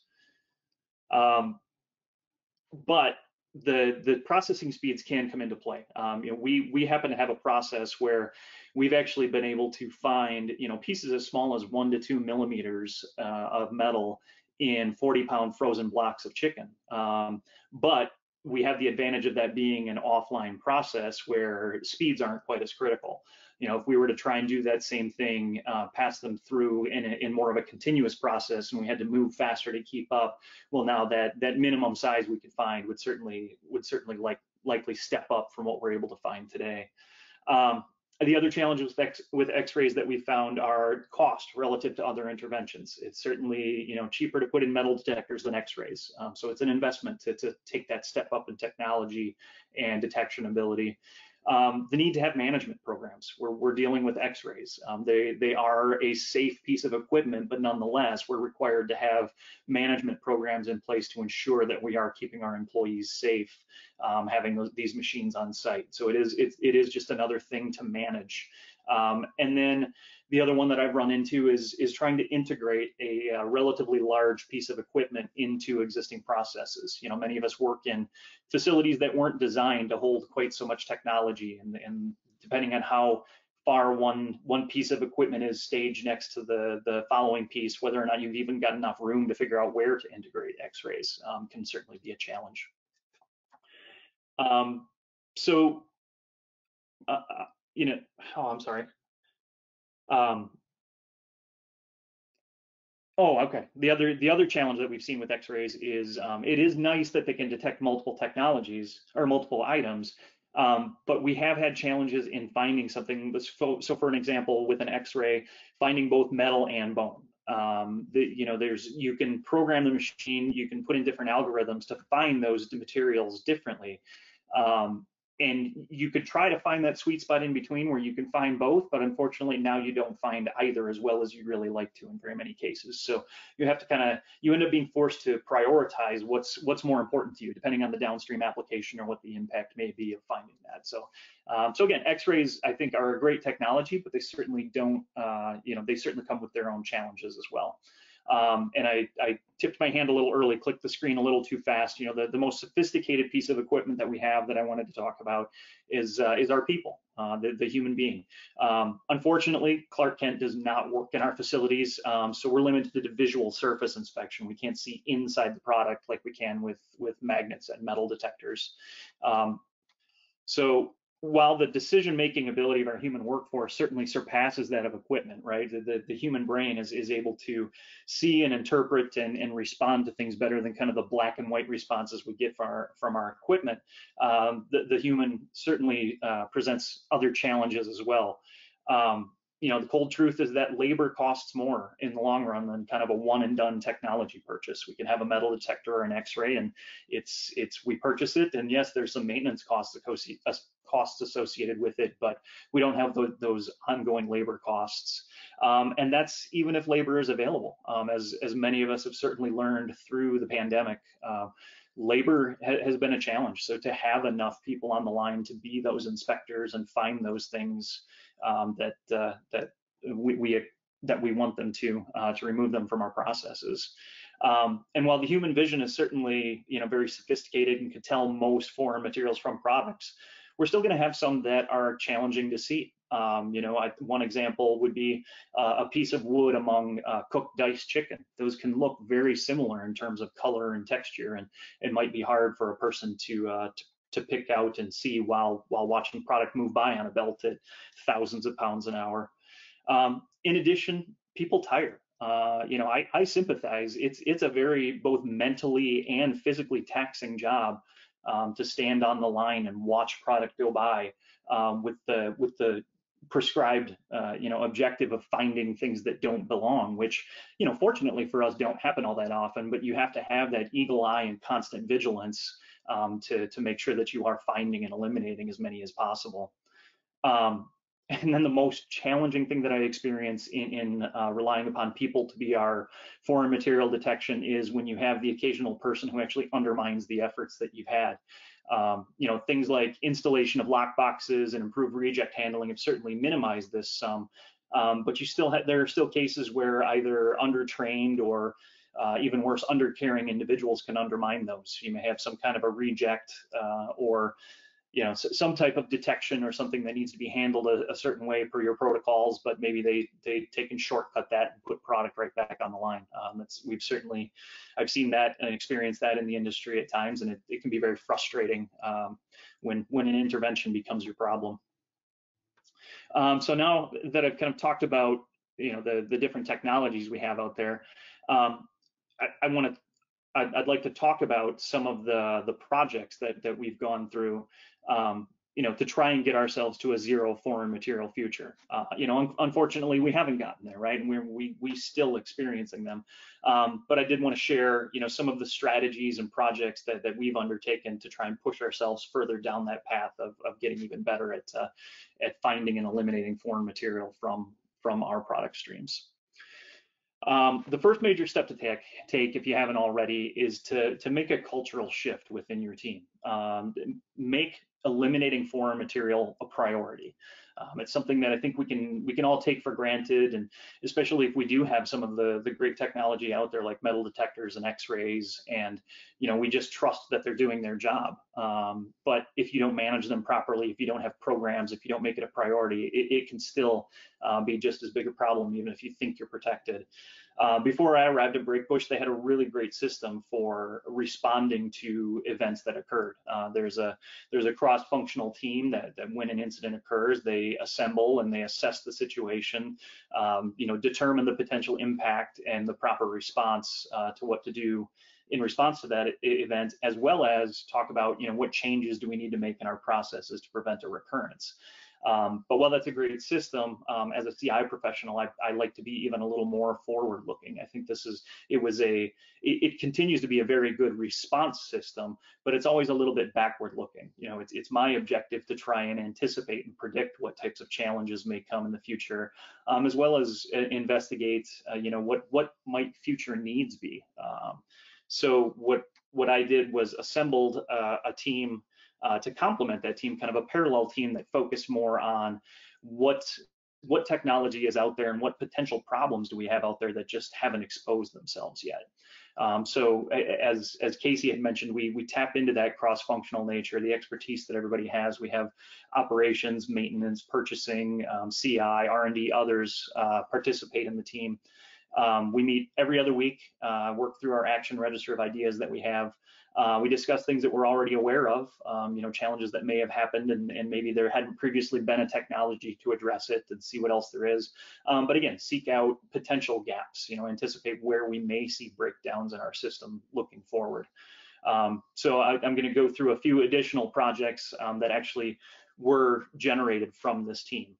Um, so kind of ironically, um, the, the first one that I want to talk about is x-rays. So again, I, I, just got done talking about the, some of their shortcomings, but in truth, it, it, still is, it's a great technology and it is an advancement over some of the technologies that were out there previously. Um, you know, it, some of the things that we looked at were straight uh, either replacement of metal detectors um, or potentially looking at how we deliver product to the x-ray the speeds that we can run at uh, you know the size of the machine again just things that we could do to to improve our ability to detect with with using x-rays um, the next uh, one that that we have is trying to to find where we can in our processes to use materials that are easier to detect. To detect. Um, so one of the, the best examples I have of that is actually using um, metal detectable plastics. Uh, we've done this in a number of our applications, um, things like gaskets, belt rollers, even the belting material itself, you can actually get in metal detectable versions.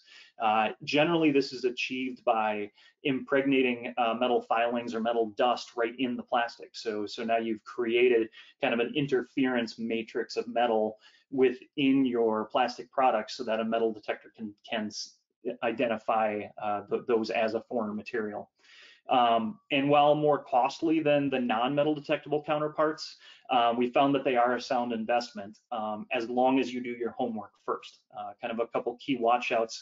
Uh, the challenges we've encountered with metal detectable plastics are durability and detectability. Um, so unfortunately, by their very nature, you think about a plastic and what makes it, you know, either pliable or strong, depending on what type of plastic you're using, is that it builds, it's a polymer matrix, right?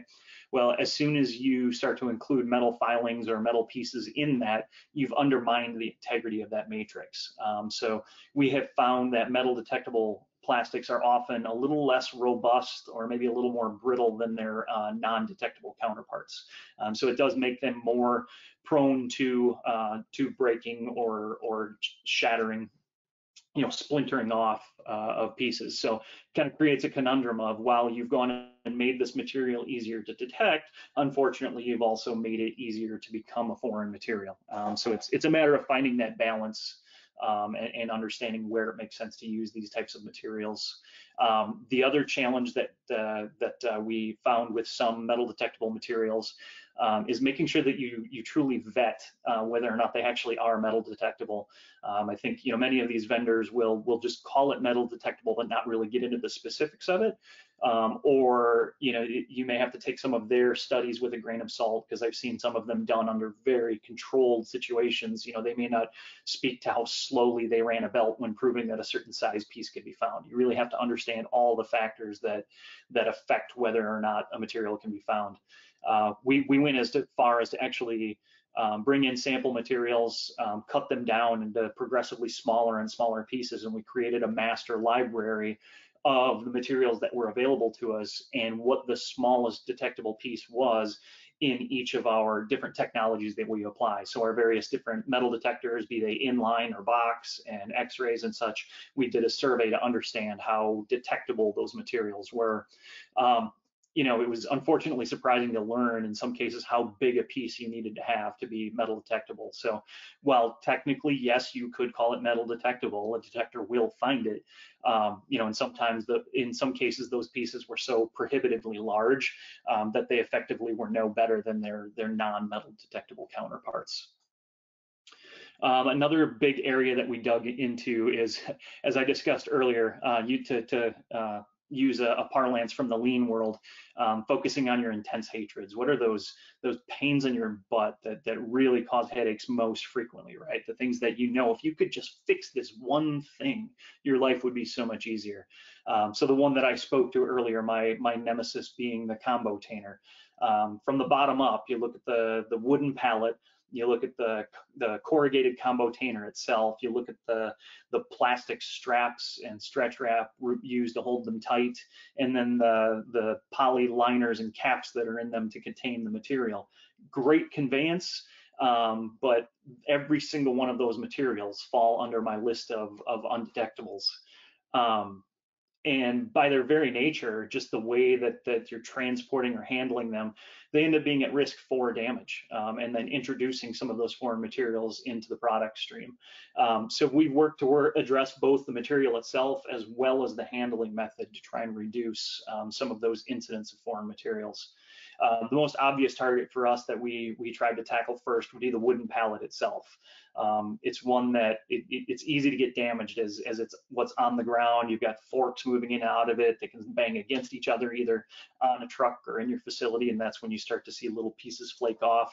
Um, in addition, you know some some folks, some processors will will take and rack those. So while you've got uh, a pallet over the top of another one now is that that may create little fake flakes or filings. Now it ends up in the combo beneath it. So it, it can be a multivariable uh, problem that we deal with. Um, unfortunately, we haven't encountered a lot of luck with replacement options. I think there are good ones out there, but they each come with their own their own alternative risk. So you have to balance out what what risk is is more you know are you more likely to detect and intervene on.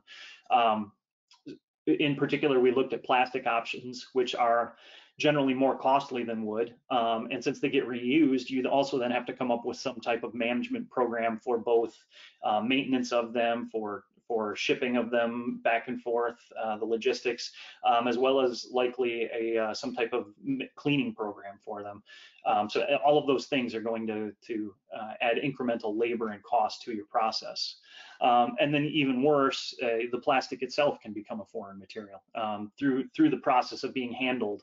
Again, you can get little splinters or shavings coming off the plastic pallet itself. Um, they as they get older and wear, you see that even more.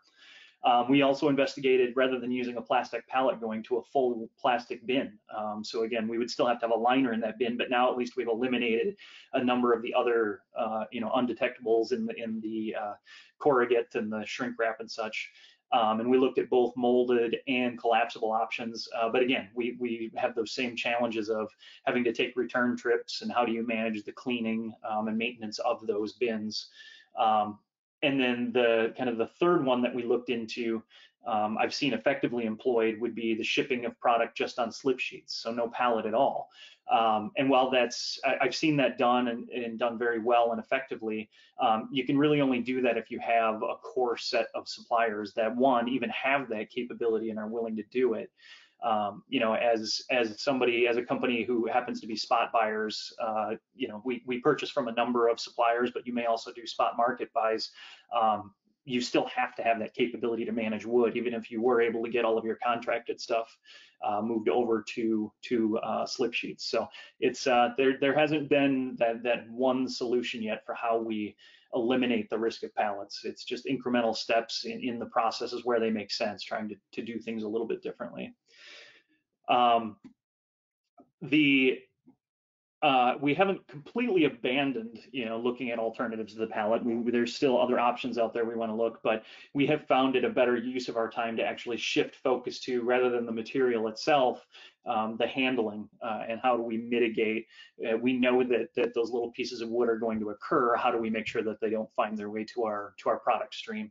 Um, so the lowest uh, level investment and hardest to sustain is training. I, I uh, wholeheartedly agreed with uh, with Casey. I liked her statement that um, you know she worked somewhere where they wouldn't allow training to be your corrective action. I think that has to be a part of your arsenal. Um, but the more that you can apply things like uh, like the good old lean uh, poka-yoke principle to make make make things error proof, um, that's going to be much more impactful and sustainable in the long run. Um, but nonetheless, we do still have to work with folks. You know, it, it comes, time comes at a premium. Uh, and as a result, you know, people uh, work their fastest, work their hardest, but that's when mistakes are made. You can get careless. Um, I've, see, I've frequently seen pallets either getting pushed into one another. Um, you know, you bump a wall on the way uh, as you turn the corner, you may clip a chunk of the pallet off, um, or you might not fully lift it up. Uh, so now you're you're you know breaking pieces off against the floor. So it's it's really about making sure that people understand what the expectations are, and even taking that a step further and impressing upon them why it's such an important deal, right? Me as your boss, I'm not just telling you to do this because I'm your boss and you have to do it. No, here are the potential impact and and the harm it could do uh, to to our company and by extension potentially your job, right? Let's make sure we do these things the right way so that we don't put put our brand and our consumers at risk. Um, another example would be some simple, you know, lean 5S type solutions, um, like painting specific landing locations on your floors. Um, so a specific square where you expect each pallet to be at least gives people some visual reference, um, you know, rather than just putting it in, you know, pushing it into the cooler, setting it down, and then pushing it back as far as you can. Um, now that that may cost you a little bit of storage space by making sure you have fair space in between, but I think it's uh, it's one of those where again you're making that balance between uh, the investment in protection uh, versus just having a little bit of extra cooler space, right? Um, and again making sure that people are trained to you know how to utilize those tools. Um, we've also done um, some things in terms of implementing some manual interventions in our processes to, to better contain uh, the the occasional foreign material incident. Uh, we've taken to actually wrapping our pallets before we dump them uh, in the applications where it makes sense. So uh, we actually will take and stretch wrap the the pallet right to the bottom of the combo. So if there are little loose pieces of, of material in that pallet, well now at least we've kind of created a little containment zone for it. So as we lift that that dumping uh, that that the the combotainer, nothing will come through the pallet or alongside the, the combotainer. Uh, and we even took it a step further and, and use a unique uh, black stretch wrap. So one, uh, we can clearly identify it as something that came from internal if we have an issue, um, as well as it certainly makes it much more identifiable to our folks on the line. It's a lot easier to find a, a, a black piece of stretch wrap than the, than the traditional clear stretch wrap. Um, and the uh, the other thing that we've done is actually making changes to our dumpers themselves. Uh, we, we are really lucky to have a very talented fabrication team in our company that we're able to come up with some additions to our dumpers um, to, to really contain things. I think most dumpers are already designed with, with some type of a lip or containment to, to help mitigate, but we would still think, you know, not everything is kind enough to fall to the back of the dumper and in the little the little channels that are already there to capture things. Um, so our team was able to develop things like um, hydraulic rams that hold the liner in place better, um, uh, an HD, um, HM, oh man, I'm forgetting the forgetting the term for it. Anyway, a, a high density uh, plastic cover to help cover the combotainer, UHMW, got it, um, to cover the combotainer itself so that things from around the container, you know, just basically have an aperture just above the opening of the combotainer itself. Um, and for those that maybe aren't as lucky as, as we are to have such a, a solid fabrication team, um, there are, you know, many of the vendors are starting to make improvements in their uh, their dumpers to help prevent things like this. We've seen one great example out there of, of a breakaway dumper that as the dumper raises, it actually captures and keeps the pallet tipped back. So only the combo comes forward and that pallet itself never gets into a position to where things may, may tip forward off of it. So um, the uh, the last project I'd like to talk about, um, and, and I do have the title here, "Don't Be Afraid to Fail." As as you can tell, it's a it's a bit of a cautionary tale. Um, and so by, by don't be afraid to fail, what I mean is we, we have to push the envelope. We have to try new things and, and some of them may not turn out. Some of them may not work, unfortunately. Um, in an ironic twist, we actually bought a, a new pump system with an improved x-ray um, because the old system that we had was, was not the most efficient system. Um, it didn't, it didn't convey the meat very well. It was very laborious for our for our operators to actually get it to to pump properly. Uh, a lot of manual intervention was required to keep the stuff moving, um, but also as a result, because it pumped inconsistently, the X-ray was not detecting very well. Um, so it made a lot of sense for us to try and find alternatives that that would improve our both both uh, you know lives of our operators, but also our ability to detect those foreign materials.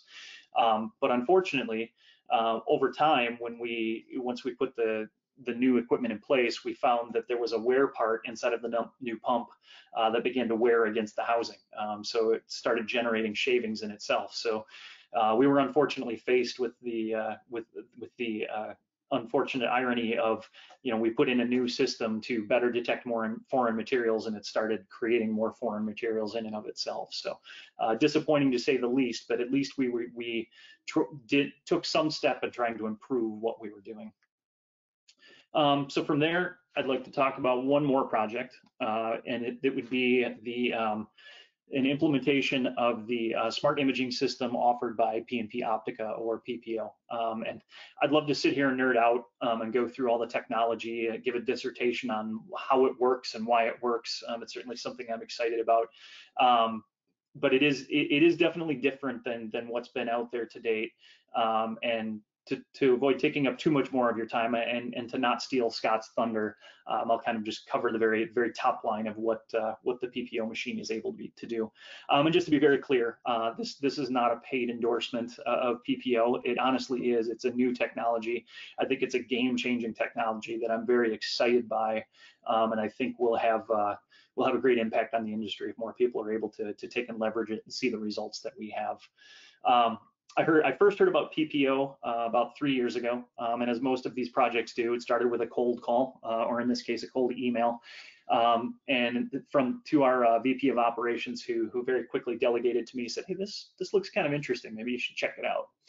Um, and but uh, as, as both a Gen Xer, uh, yes, I did just give away my age, um, and and just by my very nature, um, I'm a bit of a skeptic. Uh, you know, I, I, remember reading through the literature and thinking, okay, this this is too good to be true. You're telling me that I can actually reliably find things like plastic and wood just by putting it through this machine.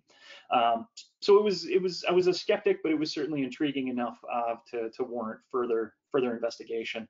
Um, so in short, the PPO machine works by spectroscopy. Um, so it bombards product that passes by on a conveyor um, with a high intensity, full visible spectrum light, and it actually interprets the reflectance uh, spectrometry information on that product in real time.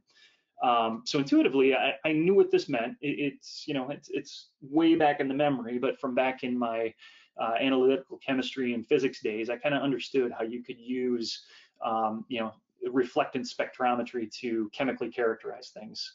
Um, but it really took a discussion with the PPO team um, for the light bulb to go off. And yes, pun fully intended there. Um, once I realized what it meant, that you know the fact that we could actually chemically characterize what it was seeing, um, then then the gears started turning, and I had all kinds of ideas for how, how we could use this, um, even beyond foreign material detection. Um, but while I have all kinds of fun ideas of things I'd like to do with it, um, really what it comes down to came down to for us was was the incremental ability to find things that we couldn't couldn't previously find in terms of foreign material. Um, so since it can truly chemically characterize what it's seeing, it, it actually can find things like wood, paper, plastic, uh, bone, and the other undetectables, things that, that machines to this point have not been able to find. Um, we currently have this installed as an offline process. Uh, we certainly evaluated whether we did it inline, offline, does it make sense to do it at the front of the process, back of the process. We, we had a number of discussions about where it made sense, but what we have found most useful is for it to be for it to be an offline process um, inspecting incoming raw materials. Uh, what we primarily focus on is trim materials uh, because those end up getting later ground uh, for formed products. So um, without finding foreign material pri prior to being ground, uh, we can certainly propagate the issue by then reducing the piece size and spreading it throughout a number of batches. Uh, so we want to try and find and eliminate it before that occurs. Um, however, we have tested it with and periodically run um, all forms of chicken products in terms of be it wings, tenders, trims, whole boneless, etc. Um, we've had success with all of them. Uh, we do run at the rather lackadaisical speed of about 18,000 pounds an hour. Um, I, I, do say that tongue in cheek. Um, it, it, nets lower than that um, overall, but the 18,000 is instantaneous. It only takes us about five, six minutes to get through a, through one combo combotainer of product. Um, it, it actually could run much faster, certainly if you integrated it with a uh, a continuous system. Um, there is room on the belt, and and the fact that what we do is we maintain one-to-one traceability. So we take we take a break between each combo to ensure that we're doing one for one. We don't commingle pre, uh, product from previous combos. So um, it's it, it's certainly able to keep up with our needs. Um, and we do routine, routinely find previously undetectable materials as small as you know two three four millimeters really small pieces of plastic even things like um, clear stretch wrap that uh, very difficult for us to find uh, otherwise. Um, again, it's somewhat limited by the speed we run. Uh, like like other technologies, it's the the faster you run, the smaller or the the larger the smallest piece will be that it can find. Uh, as you run a little slower, it's able to to more easily identify uh, smaller pieces of foreign material. Um, now, to be fair, it's not all rainbows and unicorns. Um, kind of funny. I guess I could say it's rainbows with spectro spectroscopy involved, um, but USDA hasn't approved unicorns yet as uh, consumable so, um, but anyway, it, it, does because it does reflect does detect by spectrometry. Um, it is limited to surface or near, near surface foreign material, so it's not going to see inside the product the, the way an X-ray or a metal detector can. Um, and really, where that's where that's most uh, noticeable would be in terms of like when we run trim. If you've got a lot of small pieces of trim, as they may touch each other, if just by chance that little piece of plastic happened to be between those two pieces, uh, the machine isn't going to see that. Um, but the way that's mitigated, you can see in the picture here, it's actually it's actually a Z conveyor design to where the product will go on one conveyor, um, get measured, and then it gets flipped over onto the opposite side, and a second um, a second scanner is right there. So you are effectively viewing both sides of the product. Um, so it's certainly, you know, you're seeing depending on how how tightly you load the belt, you are still seeing the majority of the surface area of your products. Um, so it's it's not a silver bullet solution that we'd love like we'd like to see in the industry, but it is certainly a great new tool uh, in our foreign material fighting arsenal. Um, and because I'm sure someone will ask, uh, I won't get into the specifics of it, but very top line, uh, while it is no small investment um, to purchase a machine like this and put it in your process, uh, we have seen enough return on our, on our investment to uh, to certainly justify that that it was worth taking the step forward and trying something new like this.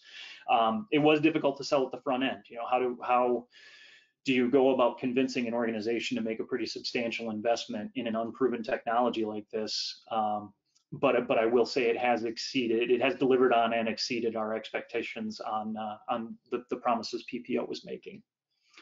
Uh, so with that, uh, just like to go through kind of a few final thoughts, uh, maybe impart a little bit of advice and wisdom that I've gained along the way uh, in our ongoing journey to uh, to try and eliminate foreign material from our processes. Um, as I stated earlier, uh, really focus on culture and your commitment to eliminating foreign material. Um, you know, it, it, starts with making sure that everybody's on board with it being a priority. Um, if you don't do that, um, you don't build the culture around that goal, you don't put your money where your mouth is, and you don't truly invest in doing the right things, I think you'll just continue to put band-aids on problems rather than actually heal the wound. Um, use the technology that, that's going to work best for you. Uh, in fact, use more than one. Um, as I discussed earlier, they all have their relative benefits and detriment. You're not going to find that silver silver bullet. Uh, but I think back to my microbiology days, and I think about uh, you know you talk about hurdle technology and making making the microbe face multiple hurdles. Um, we can do the same thing here. Do you do you put do you leverage multiple technologies either back to back or in different parts of your process where they're going to be uh, most impactful?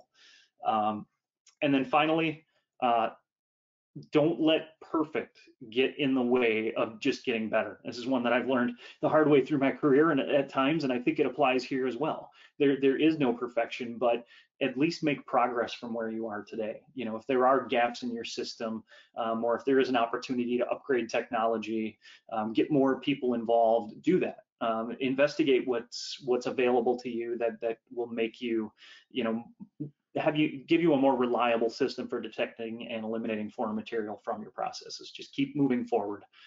Um, and with that, uh, thank you for your time.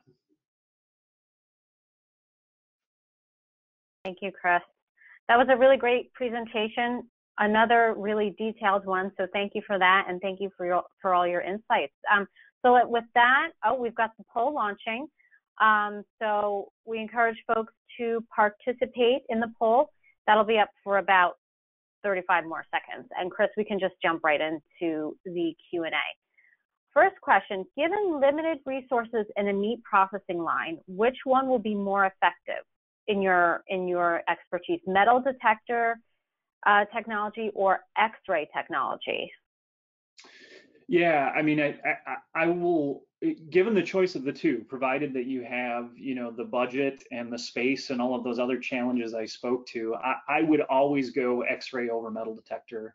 Um, I, I, think we we actually we we have had challenges in the past in certain settings um, where where maybe metal detector is is the better application again, either due to space constraints um, or just the specific application. But I think having that ability to find smaller pieces more reliably, um, and the flexibility again, depending on if you're you're talking a trim operation where it's most important to remove bone, uh, you know, depending on what it is, I, I, think you're going to find that in most cases, X-ray is going to give you just a little bit more of a bump over metal detection. Okay, great, thank you. Next question. What were your greatest challenges and or what would you have done differently in implementing the PPO scanner? Yeah, um, you know, I think for me, it was it.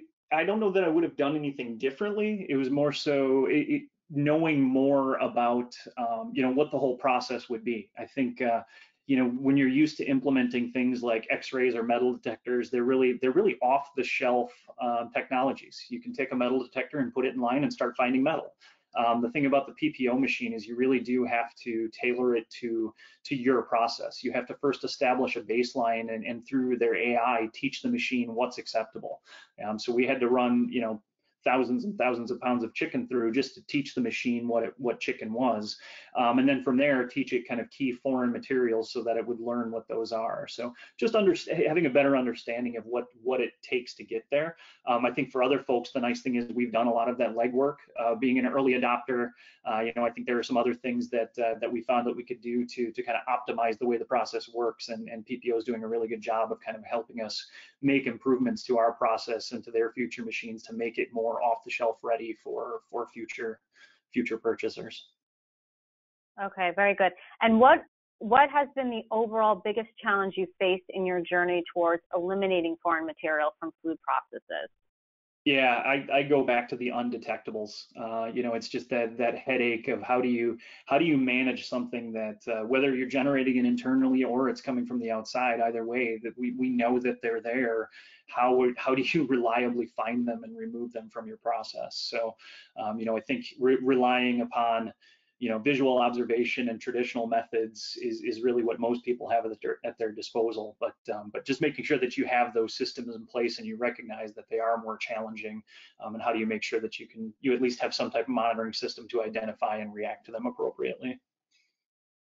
Okay, great. And the final question, this is a good one. How how did you build the case for investing in a relatively unproven technology? Yeah, that was uh, that that's that is an interesting one because first of all, you have to convince folks that yes, this uh, this machine that uh, if you don't understand the technology, sounds like maybe there's some fairy dust they sprinkle on it because why why haven't we figured out before how to find these things, right? Um, but I think for me, what it came down to was just doing a good deep assessment on the history. Uh, that we had in terms of foreign materials. Take a look at, you know, what were the cost impact of those? Uh, what things incrementally could we find um, that maybe we wouldn't be able to find before. Um, and then from my standpoint, I tend to I tend to always play it a little conservative just to make sure that I don't over over promise what could be delivered and really take that kind of that total and say, let's say if we could even just find half of these, would that justify making this investment? And and we were able to tip the scale in that favor and say, okay, if we can even just get half, at least it's going to be a worthwhile investment. And then anything above that, um, that's just gravy. Uh, and so it, it, was, it was really just making sure that you use the data available to you to build that case and, and feel good about making that type of an investment. Okay, great. Well, thank you. So with that, um, before I before I make my final thank you to you, do you have any takeaways that you want to leave attendees with? Uh, no, I think really just kind of reiterating the you know the things that I gave for advice is just work with the people around you, leverage you know everybody else's expertise and build that culture, um, and then just go out there and try. You know, do do something to just keep keep moving forward and and improving your capabilities. Okay, great. Well, thank you so much. So uh, we've gone from uh, fingertips and bird feet to fairy dust and unicorn references. So um, thank you, Chris. And with that, I think that's a nice segue into our final presentation of the day. And I'd like to welcome Scott Ruttgaizer to join us. He is the product manager of P&P Optica, and he'll be giving us an informational tech talk. Scott, welcome.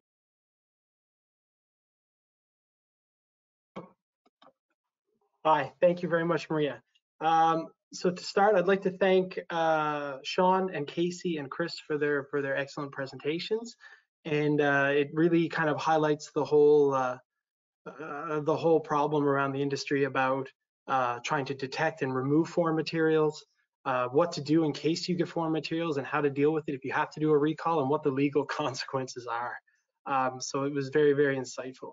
Um, just as a quick introduction to myself, I, I am the product manager at PPO, but I've been in the meat industry for the past 14, 15 years. Most of my time has been in food safety and quality assurance with some brief layovers in production and sanitation and uh, product development. Um, foreign material has been one of the things that has been uh, a negative impact on my existence, I guess, for the last 15 years. Um, so we're talking about uh, a detection system, inspection systems that are taking the place of people manually uh, looking at uh, looking at foreign material, looking at product to try to remove foreign material. So you're talking, Chris had mentioned about metal detectors and X-ray machines, but there's vision systems and multi-spectral multi-spectral imaging systems and hyperspectral imaging systems. That's kind of the gamut. Um, when you're talking about there's some terminology we need to uh, to look at to determine how effective these are. So you have any foreign material inspection system, you have two possible discrete events. You have a positive detection and a negative detection.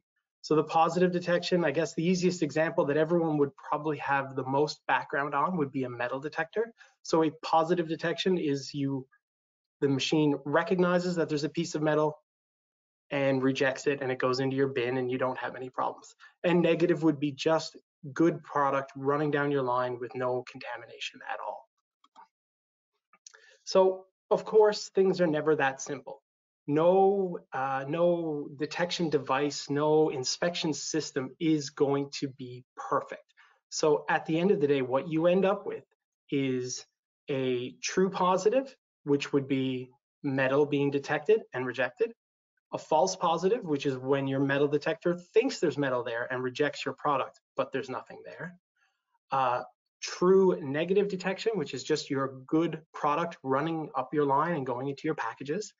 And of course, false negative detection. And that's the one that really gets you because that's when your metal detector does not flag uh, a piece of metal on your product and it goes up to and it goes up the line and goes into a bit and goes into a package and then you're dealing with recalls and uh, dental bills and, and and stuff like this. And that's that's what we want to avoid.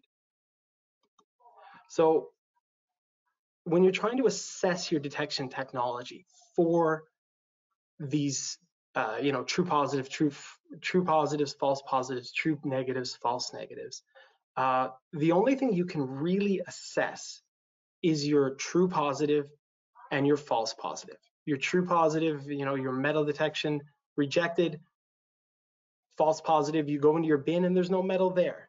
Your true and false negative rates are never ever going to be known. And so you can't tell how many false negatives you have. You get some information back from customer and consumer complaints. You get some information back if if uh, if it's reported to regulatory bodies, but at the end of the day, a lot of people will find contamination on their product and just throw it out and not, and so you're never getting the full story. And of course, human factors will inevitably come into play. So when we're talking about detection technology, we need to talk about how to talk about them and how to evaluate what the best detection technology can be. So what you want to look at is something called the detection curve, which is an evaluation of what the smallest object a system can reliably detect is. So if you look at our, our graph that we have here, you can see on the x-axis you have the size of a material and on the y-axis you have the probability of that material being detected. And again, the example that is very easy and pops to mind very easily is your metal detectors. So if you have a, uh, a two inch piece of steel, it's going to reject 100% of the time. But if you have a one millimeter piece of steel, then your detection chance or the chance of it actually rejecting is going to be very small.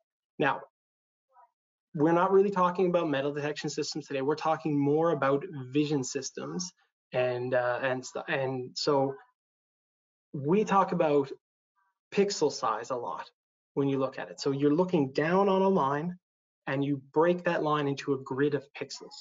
Now, your minimum detectable object is not your pixel size it's going to be some combination of pixel size, the resolution of what your vision system can see, the background noise, and then system configuration and the product and the algorithms that are used to calculate what is there and determine whether that is whether it is uh, foreign material or not. So only a detection curve will actually provide you with sufficient information as to what your best detection system can be. Okay, so if you're looking at best performance. It is not going to be the smallest object ever detected. Anyone who's worked in a plant for any significant amount of time will have examples in their head of a time when one of your employees looking at a line picked up, I don't know, a stack of sliced turkey and there was a tiny, tiny, tiny speck of blue plastic or something like that on it. And they're talking about how they've they've they just found this and they've got it off the line and it's a big deal and they're talking to their neighbor about it. And at the same time, a, a one inch piece of steel rolls up the line and goes into a package because they weren't paying attention. So humans can be the best performance in a single instance, but machines are going to almost always be better because they never stop paying attention, they never daydream, they never gossip with their neighbors or anything, anything like that. So when we're talking about getting towards a perfect detection system and what you want to select as your detection system for your facility, you have to first get as good of an understanding of the problem as you can. So what is the foreign material you're trying to avoid? Now, that is often, as Chris had mentioned in his last talk, that's often a much more complicated question to answer than, than, than you would like. If it was something simple where the only foreign material in your entire plant is metal, then you can pick an x-ray machine or a metal or metal detector and you can use that as your right approach. However, when you have a whole array of different uh, different foreign materials like metal, bone, stone, plastic, rubber, etc., etc., picking the right approach can be very challenging. So, and each approach is going to have trade-offs. So a quick example of that is an X-ray machine is going to have very, very good detection for metal and stone and concrete and stuff like that. But it's going to miss things like plastic and wood and cardboard that have less density gradient versus uh, versus the, what you're trying to detect vision systems, spectrometers, can detect plastics and wood and all these things much, much better. But there's a trade-off where it only does the surface. So you have to use whatever is at your disposal to mitigate these problems as best you can. So, and again, often the approach that is becoming much more common uh, in the industry right now is the multi-hurdle approach. And I, I, gave a, there's a little example on the slide of this. If you go to the doctor because you have pain in your hand, well, they do an X-ray and there's nothing there. So then they send you for, uh, you know, an MRI on your hand, and then they'll send you for uh, an ultrasound, and they do all of the different things to try to determine what is actually wrong. So automating this with a vision system, again, I'm going to kind of buzz through this kind of quick because I don't have a ton of time. Um, but there's camera systems. Now, camera systems use visible light only. So it'll use the three colors, three wavelengths only within the visible spectrum. So it's very good at seeing, uh, you know, high contrast items. And there's lots of examples of camera systems out there and many non-food applications. There's a wide variety of, of, uh, of knowledge to draw from, but it's not gonna see much in the way of chemical information. And I'll touch on again on chemical information as to why this is important upcoming. So multispectral systems, these are newer on the market. Um, they can differentiate some chemistries and are designed and basically programmed to differentiate specific materials based on chemical information.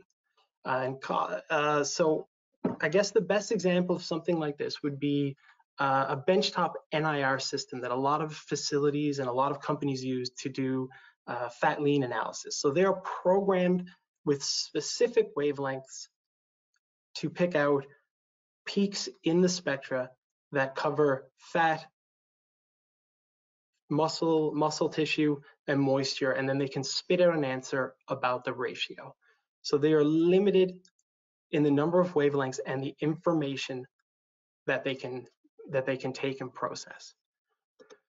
Now, hyperspectral systems are very new on the market. Now, if you're asking or if you're curious why they're very new, and I think Chris touched on this a little bit, but there's a couple of reasons why they're very new. Hyperspectral systems take in absolutely enormous amounts of spectral data. Okay? And with that spectral data comes a lot of background noise and resolution problems and all that. The founders of PPO originally, when they uh, when they devised the company, and this is going back quite a ways, worked mostly on developing spectrometers for selling spectrometers, not necessarily for the use. So they have worked their entire careers in academia and with the company on reducing the resol or increasing the resolution and reducing the background noise so that the hyperspectral imaging systems can uh, can pick up all of the information without the background noise. And the other big thing that's the reason why this is new on the market is because computing power has really, really grown over the last, you know, so many years. I mean, it's been growing ever since uh, computers have been a thing. I think everyone's heard the analogy of your your cell phone that you have in your pocket has more computing power than what they used to put uh, to put a rocket on the moon. Well, 10 years ago, there would not have been computing power available to process the amount of data that the hyperspectral system requires.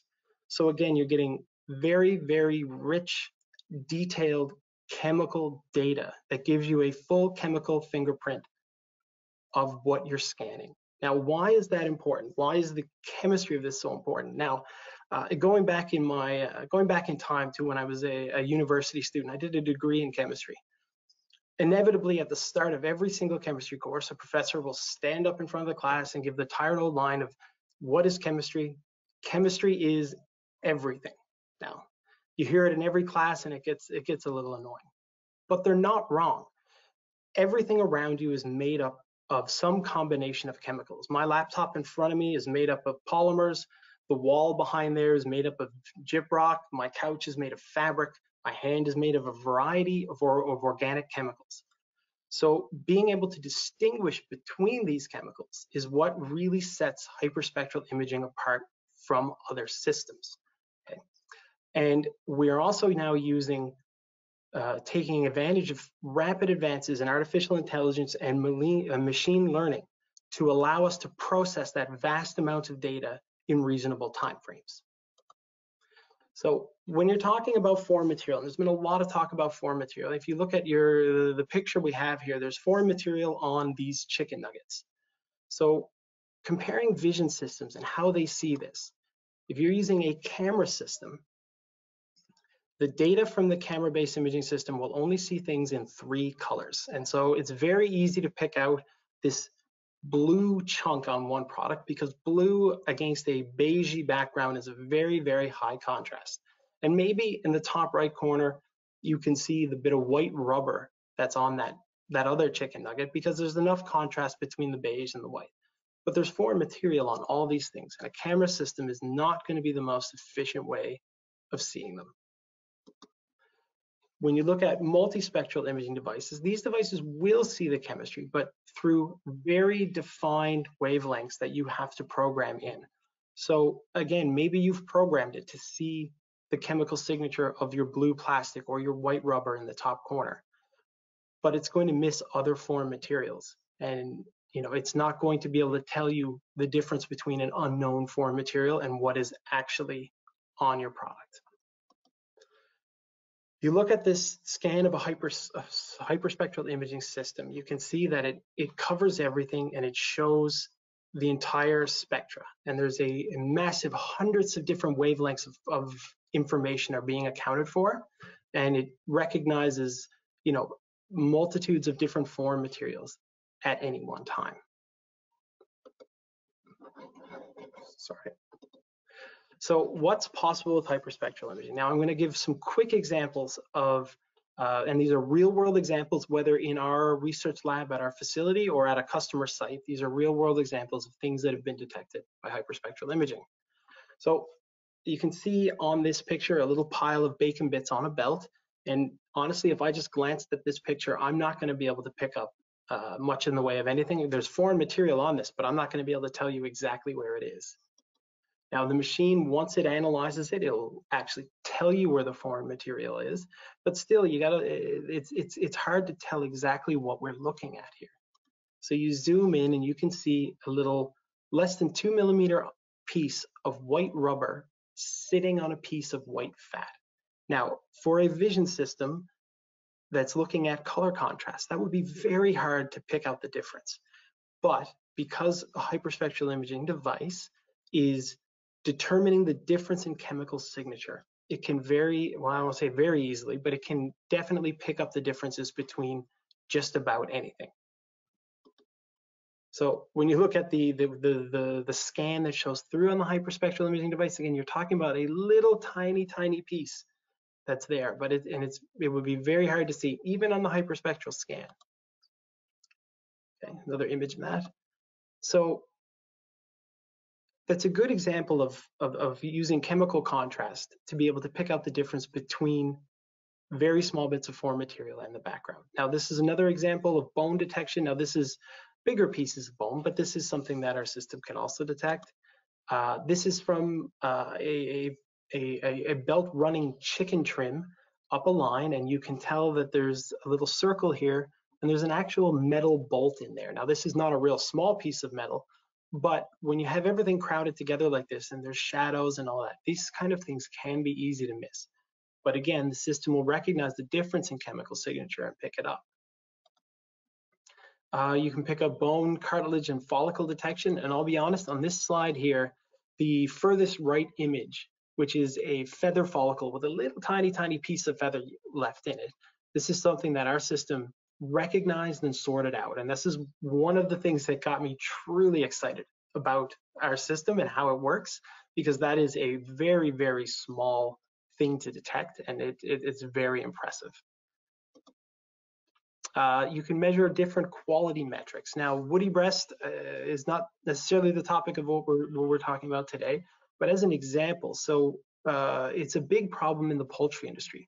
Woody breast versus regular chicken breast. There's a significant difference between the amount of connective tissue to muscle tissue ratios. So there's much more connective tissue in the woody breast.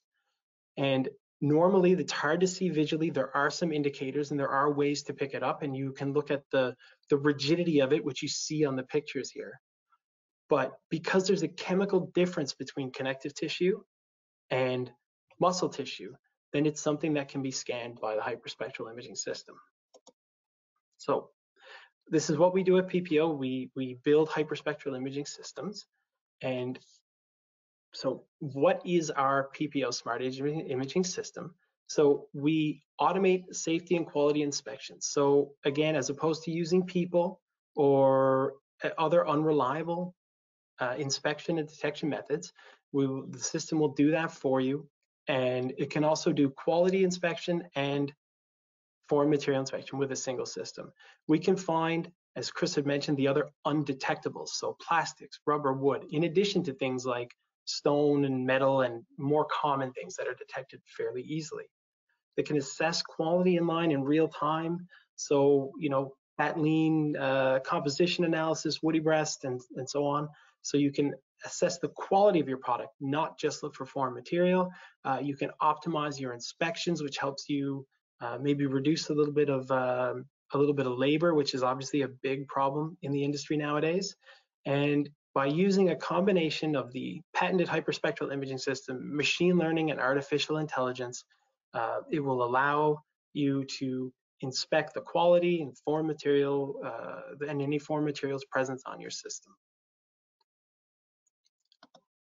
So with PPO, quality assessment and foreign material detection work simultaneously in line and in real time on the same system, right? So again, repeating myself a little bit, but I think it's it's something that you know the the range of foreign material that can be detected as well as doing quality assessment of your product is is is a is a very very uh, useful piece of the technology. Okay, so producers need to optimize everything they do. The the, the labor labor costs are rising. The availability of labor is is is drying up, and it's very difficult to run in a in a low margin business. So we're using data, not just information. We can reduce the amount of sampling, reduce the inspection of your people, and we can take out opinion-based biased decision making. Uh, PPO offers real-time production insights and continuous data collection. Now that's, again, versus your human inspector who's going to lose their attention and look away and stuff like that. It offers nonstop good focus and PPO brings automatic recommendations which enable data-driven, non-biased decisions. So kind of in summary, and again, uh, with, when you're trying to determine what to purchase for your prospective inspection system, we need to find balance between detection rates and false positive rates. So your detection curves are the best way of doing this. So you want to, you know, you need to find a system that will reject your foreign material at the smallest size, but also with the highest probability. Your false positive rates are also important because you know you don't want to be losing product that's getting dumped because it's not it, it's not actually affected. And real-time identification and the ability for the system to learn over time and evaluate quality composition as well as form material uh, adds a bit of value to the system as a whole doing the job of multiple machines. And i think that's just about it for me and i think i'm a little bit late thank you very much for your attention, and I appreciate everyone coming to the to this today, and for all the other speakers for for giving me their time, us their time. Thank you so much, Scott. That was really interesting. Um, well, let's let's get into a couple questions. Um, well, first of all, too, um, it was a, it's an interesting presentation, and for folks who want to learn more about the technology, what's their best route of contact for for P&P Optica? Uh, well, I mean, we have a uh, a generic sales email address that anyone can contact at any time. Um, but if anyone's interested, uh, I think uh, Heather from PPO, our marketing person, is also on this webinar in the background.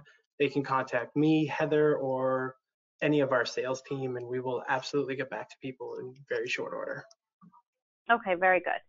So for the first question, what food products outside of meat have you worked on?